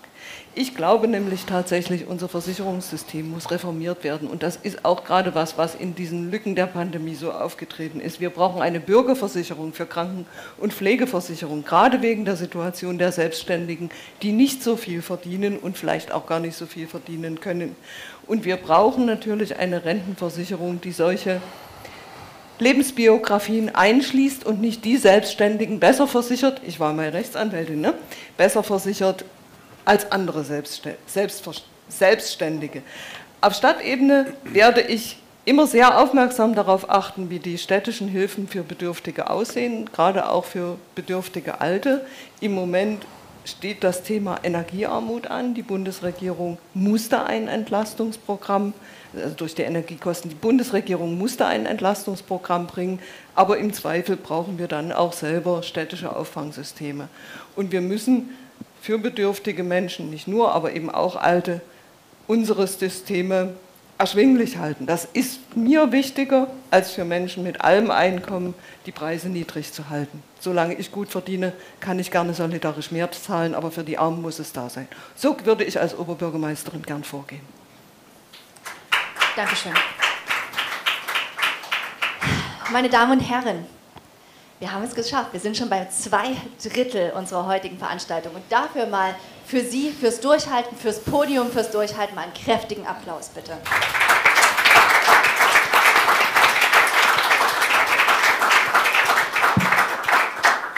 Wir kommen an dieser Stelle zu einem eher ungewöhnlichen Teil eines Wahlforums. Wir hatten jetzt viele äh, komplexe Fragen und wir brechen das Ganze jetzt mal herunter und ich bitte meinen Kollegen Martin Fiedler hier nach vorne. Er hat nämlich etwas für Sie und uns vorbereitet. Und der Herr Pönisch kommt äh, rechtzeitig. Herr Pönisch, ah. Ohren gespitzt. Der Kollege Fiedler erklärt jetzt was. Nicht noch ein Mikro? Ja, sehr gut. Ich würde mich jetzt dem Publikum abwenden, um die Oberbürgermeisterinnen-Kandidaten anzuschauen und die Maske angehen, damit sie mich besser hören. Ich werde Ihnen jetzt, ich spiele jetzt ein Spiel, das A oder B oder keine Ahnung Spiel. Das ist abgeleitet von einem Spiel aus einem Podcast, kann ich später noch ausführen, würde jetzt zu viel Zeit brauchen. Was ist Ziel dieses Spiels? Wir haben jetzt sehr viel Zeit, also es braucht für bestimmte Fragen auch Zeit und deswegen werden wir die jetzt eben, um Sie besser kennenzulernen, äh, Sie darum bitten, Handzeichen zu geben, mit Hilfe dieser Karten. Ich gebe Ihnen jetzt jeweils eine schwarze und eine rote, eine weiße Karte. Die schwarze Karte geben, nehmen Sie bitte in die rechte Hand. Das ist die rechte.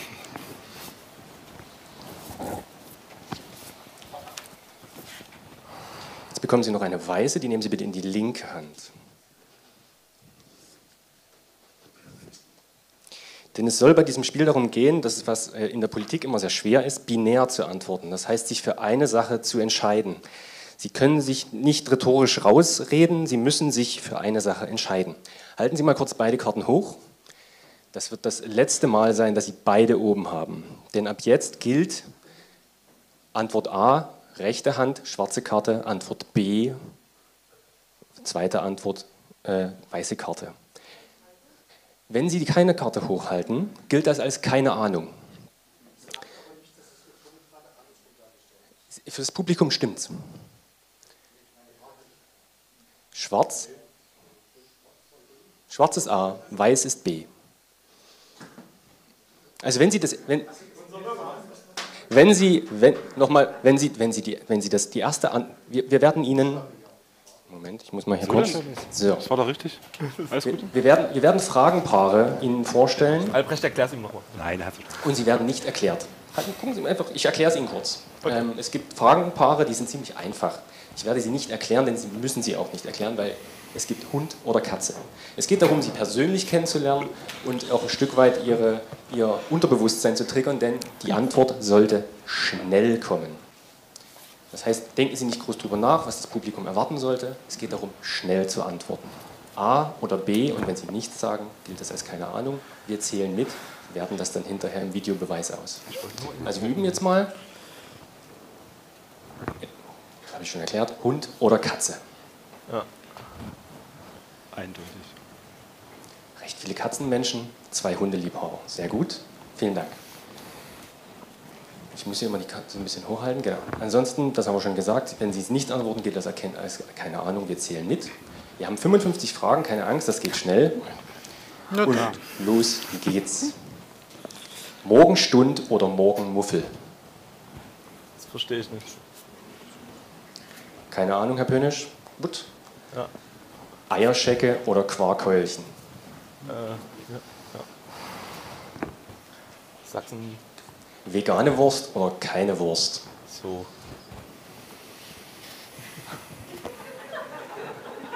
Jake. Putzen oder putzen lassen? So. Jetzt verstehe ich die Fragen langsam. Jetzt kriegt das einer. Sehr gut.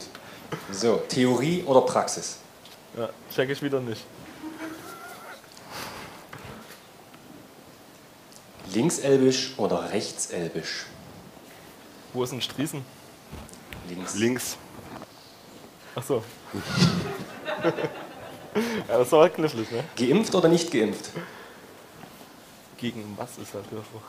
Gegen alles. Ich verstehe ich verstehe es nicht. Unerwartet. Ich verstehe das Spiel nicht. Mopo oder SZ? So, die Nacksche, ich liebe die Nacksche. Lese ich immer die SZ oder DNN? Ach so. Welchen? Schnell nochmal umentschieden. SZ oder FAZ? Ich mache mir ein Bier auf. Scholber, wollen Sie nicht mitmachen? Ach doch, ich höre mir das mal an und komm. Papier oder digital? Weiß. E-Mail oder Anruf? Weiß. Anruf oder WhatsApp? WhatsApp oder Telegram? Das ist gut, das ist gut. Android oder iOS? Online oder Prager Straße?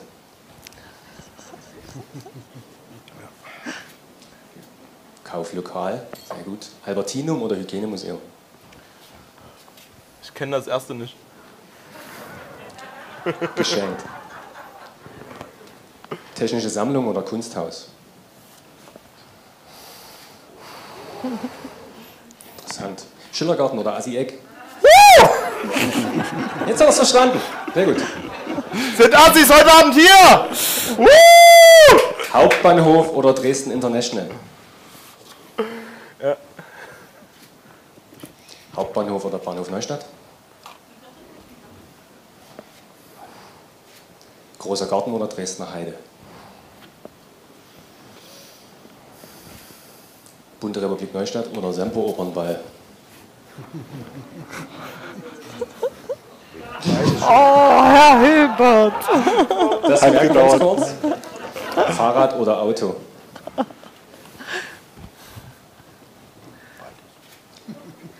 Das gilt nicht, Herr Hilbert. Sie treffe müssen sich Max entscheiden. auf dem Semper Fahrrad heute oder. Auto?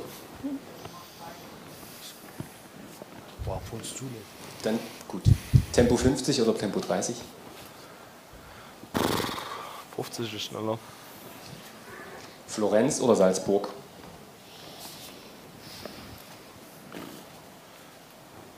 Beide schön. Coventry oder Columbus? Straßburg oder St. Petersburg? Ich verstehe es nicht. Sind, Spoiler sind Partnerstädte Dresdens. Ach so. Schauburg nehme ich die oder Russen. PK Ost? Wie bitte? Schauburg oder PK Ost? Kristallpalast oder Rundkino?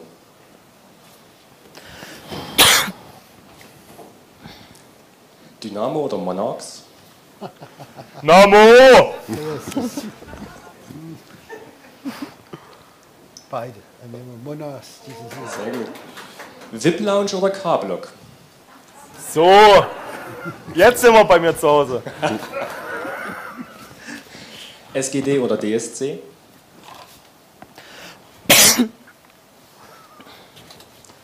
KID oder WID?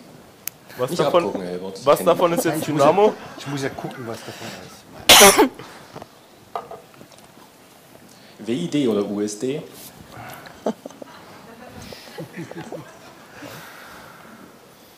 USD oder WOD?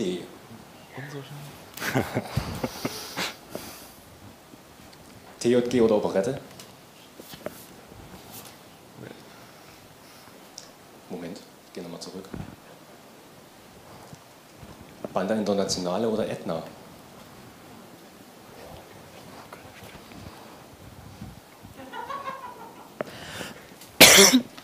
Diener des Volkes oder August der Starke?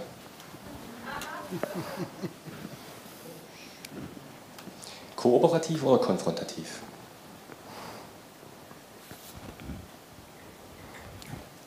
Dafür oder dagegen? Schlimm. Ortsbeiräte oder Stadtbezirksbeiräte? Achso. Lotte. Testfrage. Stadtrat oder Hinterzimmer? Zwei Karten gilt nicht, Herr Pönisch. Nee, ich, ach so, ja, dann. Vorzimmer oder kein Vorzimmer? Hm? Das meiste verstehe ich einfach nicht. Hätte ich auch in rauchen gehen können. Bürgerwiese oder Goldener Reiter? So. Stört das jemand, wenn ich hier drinnen rauche? Ja. Ja. Ja, okay. In Sachsen oder in Deutschland?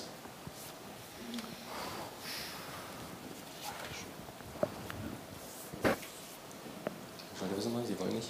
Nö. In Deutschland oder in Europa? Sicherer Hafen oder Dresdner Festung?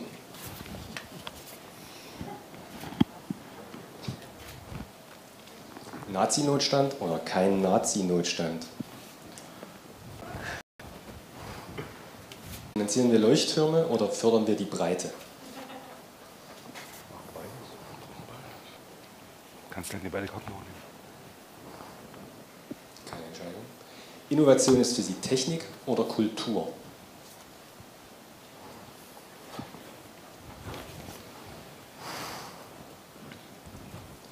Mit Ihnen oder mit euch?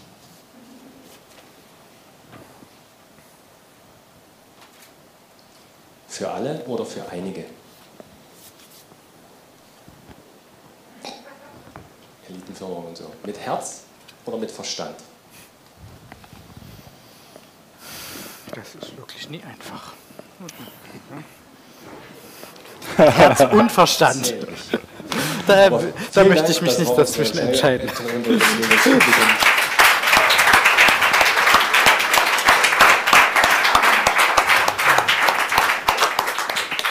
Kann ich jetzt einen rauchen gehen? Herzlichen Dank, Danke.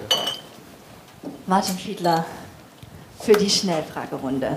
Ich hoffe, Sie sind jetzt auch alle aufgemuntert und wieder wach und wir begeben uns in unser letztes Themengebiet und zwar den Rahmenbedingungen. Auch dieses Objekt wurde heute schon von einigen Oberbürgermeisterinnenkandidaten angesprochen und ich übergebe die Frage an meinen lieben Kollegen Andreas. Wunderbar. Und ich übernehme gern. 2019 wurde die Robotrobben-Kantine erhalten und später von der Landeshauptstadt Dresden angekauft. Sie war eines der Leitprojekte der Bewerbung Dresdens als Kulturhauptstadt 2025, im Rahmen dessen ein Betreiberkonzept für die zukünftige oder künftige Nutzung der Kantine erarbeitet wurde. Ein Teil dieses äh, Gesamtbetriebs sollte das Open Future Lab sein, ein Ort schaffen, der es ermöglicht, branchenübergreifend zusammenzuarbeiten, Innovationen auszustellen und zu testen und Zukunftsfragen gemeinsam zu diskutieren. Trotz einem breit äh, aufgestellten Open Future Lab Team und mehr als 75 Unterstützerinnen und Unterstützer aus der Dresdner Kreativwirtschaft und Wissenschaftslandschaft konnte das Konzept nicht umgesetzt werden. Und sehr geehrte Damen und Herren, die Frage lautet entsprechend, wie werden zukünftige Innovationen und Wirtschaftsentwicklungen in Dresden stärker vorangebracht und wie kann die dafür relevante Infrastruktur dafür ausgebaut werden? Und entsprechend unserer Re- Regelung ähm, starten wir bei Herrn Dr. Äh, Herrn Dr. Herrn Dirk Hilbert jetzt. Bitte schön. Also will da auch ganz kurz aufräumen mit ähm, der Botschaft, dass wir die Robotron-Kantine gekauft haben. Wir wollten sie kaufen. Und wir haben auch dazu einen weit überwältigenden Ratsbeschluss gefasst. Wir haben auch die Verhandlungen geführt mit dem Eigentümer, ähm, wo, wir, ähm, wo ich selber in Kassel mit ihm, äh, mit Herrn Bergmann gesprochen habe, ähm, wo wir uns handelseinig waren. Nur hat er es dann weiter veräußert ähm, und eben äh, dann den Verkauf an die Stadt nicht mehr vollzogen. Soweit ist es weiterhin in der Privathand und noch nicht innerhalb der Stadthand.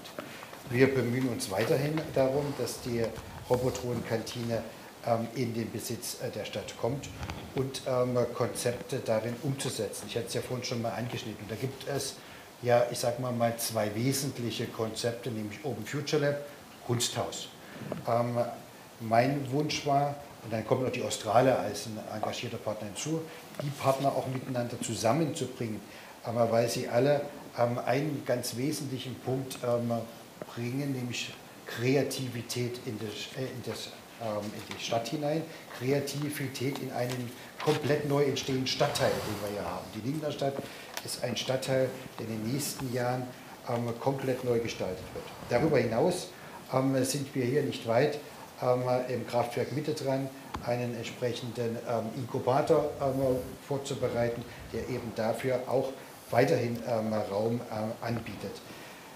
Das sind nur zwei Beispiele von einer mindestens einer Handvoll Projekten, die in der Vorbereitung sind, um kreativen Raum in der Stadt Mitte zu geben. Bin auch sehr froh darüber, dass die bisherige Restaurantfläche im Kulturpalast jetzt ähm, vermietet ähm, wird an das Backhausen-Institut und damit ein Stück Innovation, ein Stück ähm, Technologie zum Anfassen mitten in das Stadtzentrum hineinlässt.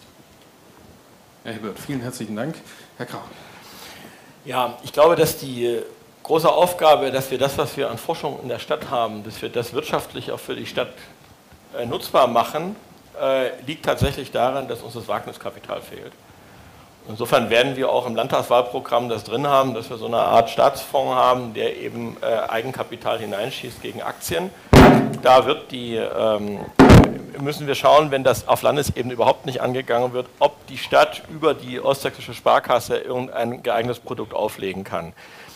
Was die, was die Rot-und-Kantine angeht, äh, muss ich zugeben, habe ich nun wirklich nie verstanden, warum die für die Stadtentwicklung so bedeutend ist. Ich kenne sie noch als Kantine mit meinen Großeltern. Äh, ich halte die jetzt auch weder für besonders äh, erhaltenswert, das geht mir aber bei den, äh, bei den, beim Neustädter Markt jetzt unter Denkmalschutz ist ähnlich. Das heißt, ich glaube, wir sollten Mut zur Schönheit haben. Und äh, Innovation und Zukunft sollte auch mit Schönheit übereinstimmen, weil wir auch nur da natürlich Identität schaffen können. Alles andere ist doch ein sehr verkopftes Projekt.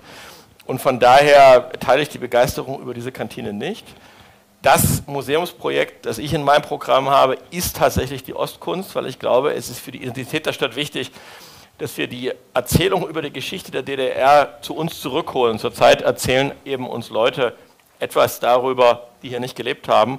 Und ich glaube, dass Zukunft auch nur dann entstehen kann, wenn man Wurzeln hat und wenn man über diese Wurzeln reflektiert hat. Von daher verfolge ich da einen anderen Ansatz. Äh, an dieser Kantine liegt mir nichts. Die Zukunft werden wir ökonomisch schaffen und wir müssen jetzt mal überhaupt gucken, wer sind wir eigentlich? Und das schließt sowohl den 13. Februar wie die Ostkunst ein. Da sehe ich meine kulturpolitischen Schwerpunkte. Ganz kurz noch, Herr Krah, weil Sie, weil Sie es gerade noch mal so besprechen haben, und wir haben 50 Sekunden, die kriegen Sie auch noch zusätzlich zu meiner Frage. Ostkunst ja, Robotron nein. Das heißt Ostkunst nur dann, wenn sie Ihnen gefällt oder nicht? Nein, das Konzept, äh, was wir dahinter haben, ist, dass wir gegenüberstellen die Oppositionskunst gegen die Staatskunst. Und die DDR hat ja sowohl als Staatskunst Erstaunliches geleistet, das sehen Sie daran, dass bis heute die Leipziger Schule die wohl prägende Kunstrichtung äh, des wiedervereinigten Deutschlands ist. Aber es gibt auch eine wunderbare Oppositionskunst, die eben dem Staat suspekt war. Und äh, die Idee ist, dass wir in der Auseinandersetzung mit beiden, also sowohl mit Tübke wie auch mit A.R. Penck und vielleicht sogar mit der Kompositionskunst der DDR, uns mal die Frage stellen, über die Kunst einen Zugang finden zu dieser DDR, die eben doch sehr viel vielschichtiger war, als es uns in den letzten 30 Jahren dargestellt wurde. Vielen Dank. Herr Schorbach, bitteschön. Wir benötigen insgesamt mehr Respekt vor der Architektur der DDR. Sie gehört zu unserer Stadt. Sie ist über viele Jahrzehnte hinweg entstanden und wenn wir zurückblicken, ist da auch herausragende Architektur entstanden. Ich verweise nur mal auf das wunderbare Rundkino, was lauter, leider mit verschiedenen Gebäuden regelrecht eingemauert worden ist und dadurch seine Wirkung gar nicht mehr nach außen entfalten kann, so wie es das ursprünglich getan hat. Ich verweise auf die beiden Brunnen auf dem Neustädter Markt, die wirklich ein Kleinod äh, waren. Leider hat man sie über viele Jahre hinweg regelrecht verkommen lassen. Und ich denke, wir müssen dieser Architektur den Respekt erweisen und zum Beispiel diese Brunnen wieder in Ordnung bringen. Und dazu gehört auch die Robotron-Kantine. Wenn ich nicht im Stadtrat aktiv geworden wäre, den Antrag gestellt hätte und dafür gesorgt hätte, dass es eine Mehrheit gibt, wäre sie längst abgerissen. Dann könnten wir heute gar nicht mehr darüber sprechen, sie zu erhalten. Jetzt muss es gehen, sie nicht nur baulich zu erhalten, sondern sie auch mit Leben zu füllen, mit einer sinnvollen Nutzung zu füllen, dafür zu sorgen, dass es tatsächlich ein öffentlicher Ort wird, der Impulse in die Stadt hineingibt und an dem sich die Menschen erfreuen können, wo sie Wissen erwerben können, wo sie miteinander in Diskurs gehen können. Und das ist jetzt eine wichtige Aufgabe. Und wenn wir zurückblicken, dann hatte augenscheinlich diese Aufgabe an der Spitze der Stadt in der Vergangenheit keine hohe Priorität. Das möchte ich gern ändern.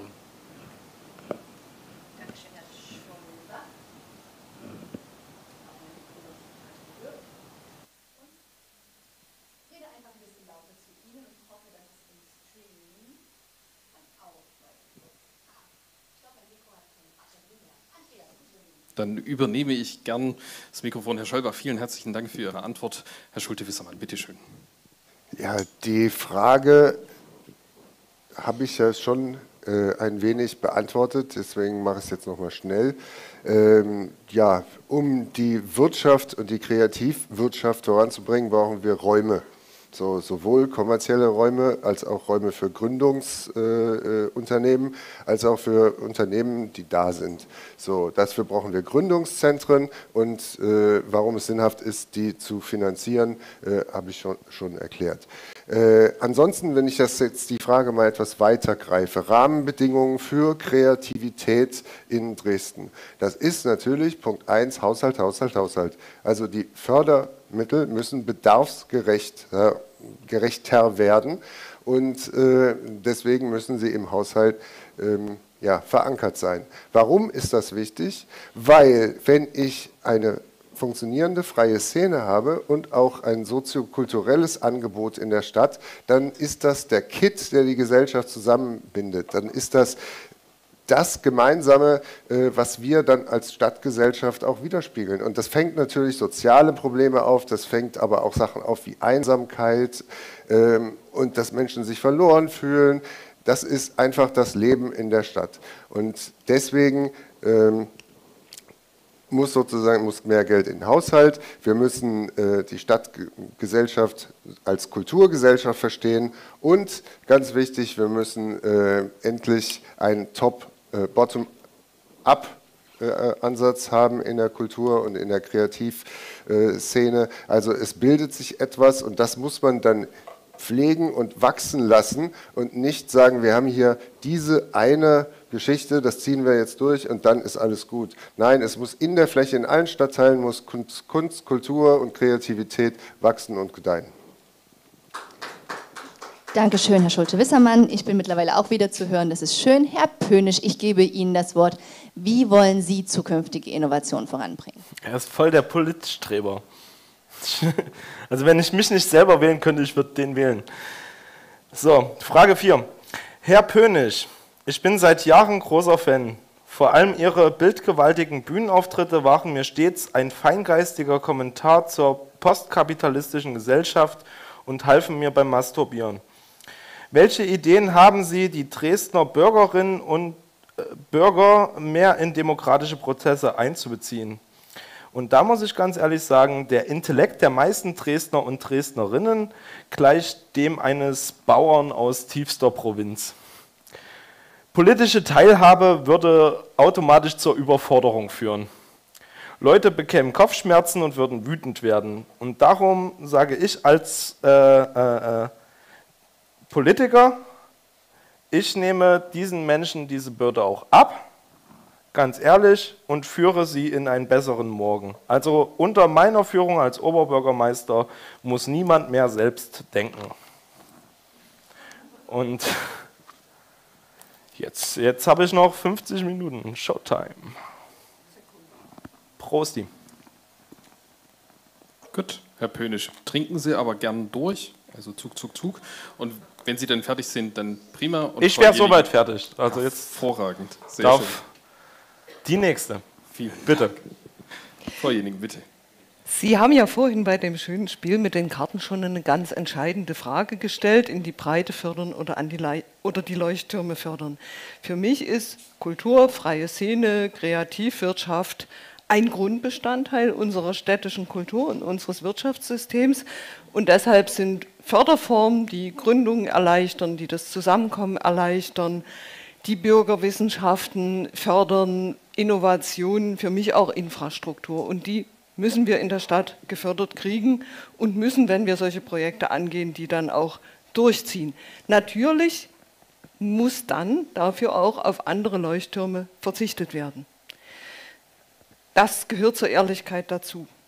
Ich würde das als Oberbürgermeisterin viel stärker als bisher auch mit Nachhaltigkeitsaspekten verbinden.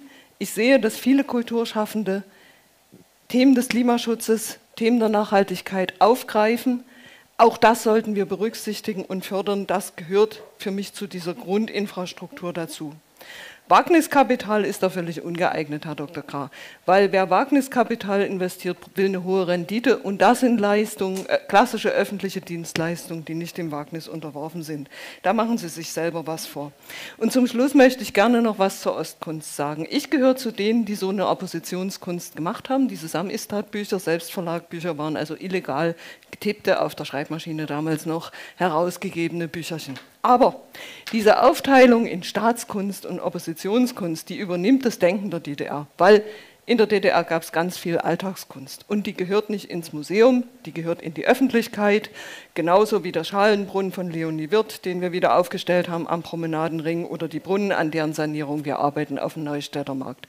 Das gehört zu uns, unserer Identität. Wir sollten uns natürlich mit der Geschichte auseinandersetzen, aber das ist eine Frage der Erinnerungskultur und der Aufarbeitung der Diktatur und nicht der Klassifizierung von Kunst. Vielen Dank, Frau Jenikin. Herr Pallas. Danke. Für mich äh, sind Kunst und Kultur dann besonders aufsehenerregend, und das ist, glaube ich, in Dresden auch so, wenn ähm, sie unvorhersehbar, unkonventionell, uneitel ist. Und ich glaube, dann äh, kann auch so eine spannende äh, Zukunft für unsere Stadt äh, auch wieder entstehen. Und vielleicht, wer weiß, neues Kulturerbe, Weltkulturerbe, wie auch immer, mal ein bisschen die Latte hochzulegen. Wie entstehen solche Bedingungen, damit äh, Kreativität sich entfalten kann? Über Räume für Gründerinnen und Gründer haben wir vorhin schon gesprochen. Äh, mir geht es auch um, um Freiräume, kulturelle Freiräume einerseits, aber natürlich auch eigene Räume für, für junge Menschen. Und ähm, damit meine ich solche jenseits der großen Einrichtungen, die wir, die wir haben, die äh, gesetzt sind, ähm, wo sozusagen der Rahmen gesteckt ist und es schwer ist, da auszubrechen. Und wir haben bereits solche Orte. Da denke ich an den alten Leipziger Bahnhof. Da gibt es ja bereits äh, Kunst- und Kulturschaffende. Und äh, mir ist bei dem Prozess, der jetzt läuft, vor allem wichtig, dass wir eben nicht nur über diese Nutzungen sprechen, die wir wollen, also nebeneinander von bezahlbarem Wohnen, vielleicht Kleingewerbe, Kunst und Kultur, sondern es darf eben nicht dazu führen, dass wir eine Entwicklung haben, ähnlich wie damals beim Kulturkraftwerk Mitte, wo dann am Ende trotzdem Mieten, die äh, aufgerufen wurden, für bestimmte Kreative halt nicht mehr bezahlbar waren. Äh, also wir haben da bereits ähm, tolle Ideen, kreative Menschen und mir war wichtig, dass das erhalten bleibt. Und das gilt auch, also Thema Freiräume, auch für junge Menschen. Wir haben ähm, eine tolle Clubszene äh, in der Stadt, aber es sind eben auch immer mehr Freiräume weggefallen in den letzten Jahren. Und ich finde ganz wichtig, wenn wir solche Quartiere entwickeln, dass wir eben auch das Nebeneinander von äh, Wohnen, Kunst und Kultur, aber eben auch Clubs mitdenken und dafür Räume schaffen äh, und Konflikte sozusagen vermeiden. Mein Ansatz äh, ist sozusagen nebeneinander von Tradition und Innovation, niedrigschwellige Angebote und äh, die Nutzung von bestehenden Flächen, wie zum Beispiel ähm, Robotronkantine, wenn möglich, oder auch der Schaffung von neuen, äh, wenn irgendwo etwas fehlt. Herr Palles, vielen Dank. Jetzt hat Herr Kra sich noch gemeldet, aber in Anbetracht der Zeit. Es gibt hier einen Kandidaten auf dem Podium, der hat noch 20 Sekunden. Und den möchte ich fragen, ob er von seiner Zeit etwas abgeben möchte, damit Herr Kra ähm, was zur Ostkunst noch erwidern kann, Herr Scholbach. Sie fragen mich ich allen frag Ernstes, ob ich Herrn Kra etwas abgeben würde? Gut, Nein. Das ist eine eindeutige Antwort. Herr Kra, nehmen Sie es gerne so zur Kenntnis und dann können wir entsprechend weiter fortfahren. Wollen wir denn die 20 Sekunden jetzt äh, einbauen, weil das äh, erst ja, eine Meldung war zur Infrastruktur? Andreas, was denkst du? Oder machen wir weiter mit unseren spannenden Fragen? Wir machen weiter mit unseren spannenden Fragen. Es bleibt nicht vergessen. Die letzte Frage zum Thema der Rahmenbedingungen ist folgende. Wir haben aktuell in der Stadt ein sehr gutes Beispiel, wie ich empfinde, dass ähm, die Wirtschaftsförderung und das Kulturamt ähm, erstmalig sehr eng miteinander zusammenarbeiten und das schafft vielfältige Synergien. Aber auch hier habe ich natürlich wieder ein kleines... Wir brauchen mehr Batterien in den Mikrofonen ein kleines Negativbeispiel mitgebracht. Und zwar im Krisenjahr 2020 setzte sich die Kurs Event GmbH hin und entwickelte ein neues Konzept, das hieß Kultursommer Dresden. Es gab ein super aufwendiges Hygienekonzept, das alles sollte auf der Kockerwiese stattfinden, vom Hygienemuseum und sollte ein Open-Air-Event sein. Vor solchen Events in der Stadt gibt es immer eine Ämterrunde, eine sogenannte Koordinierungsberatung. Und Ausgerechnet in dem Fall, wo wir uns wirklich mitten in der Pandemie befinden, sich eine Technikfirma in die Position der Veranstaltenden begibt, ähm, ist es dem Umweltamt, die unter anderem für Emissionsschutz und Lärmschutz sind, da nicht möglich gewesen teilzunehmen. Und die Bedingungen, unter welchen das gekoppelt ist, dass der Kultursommer nun stattfinden kann, mit dem äh, jeweiligen Emissionsschutz, wurde dem Festival erst zwei Wochen vor Vorverkaufsstart und damit acht Wochen nach der eigentlichen Genehmigung zugearbeitet. Das führte dazu, dass Sie wahrscheinlich noch nie vom Kultursommer Dresden auf der Kockerwiese gehört haben,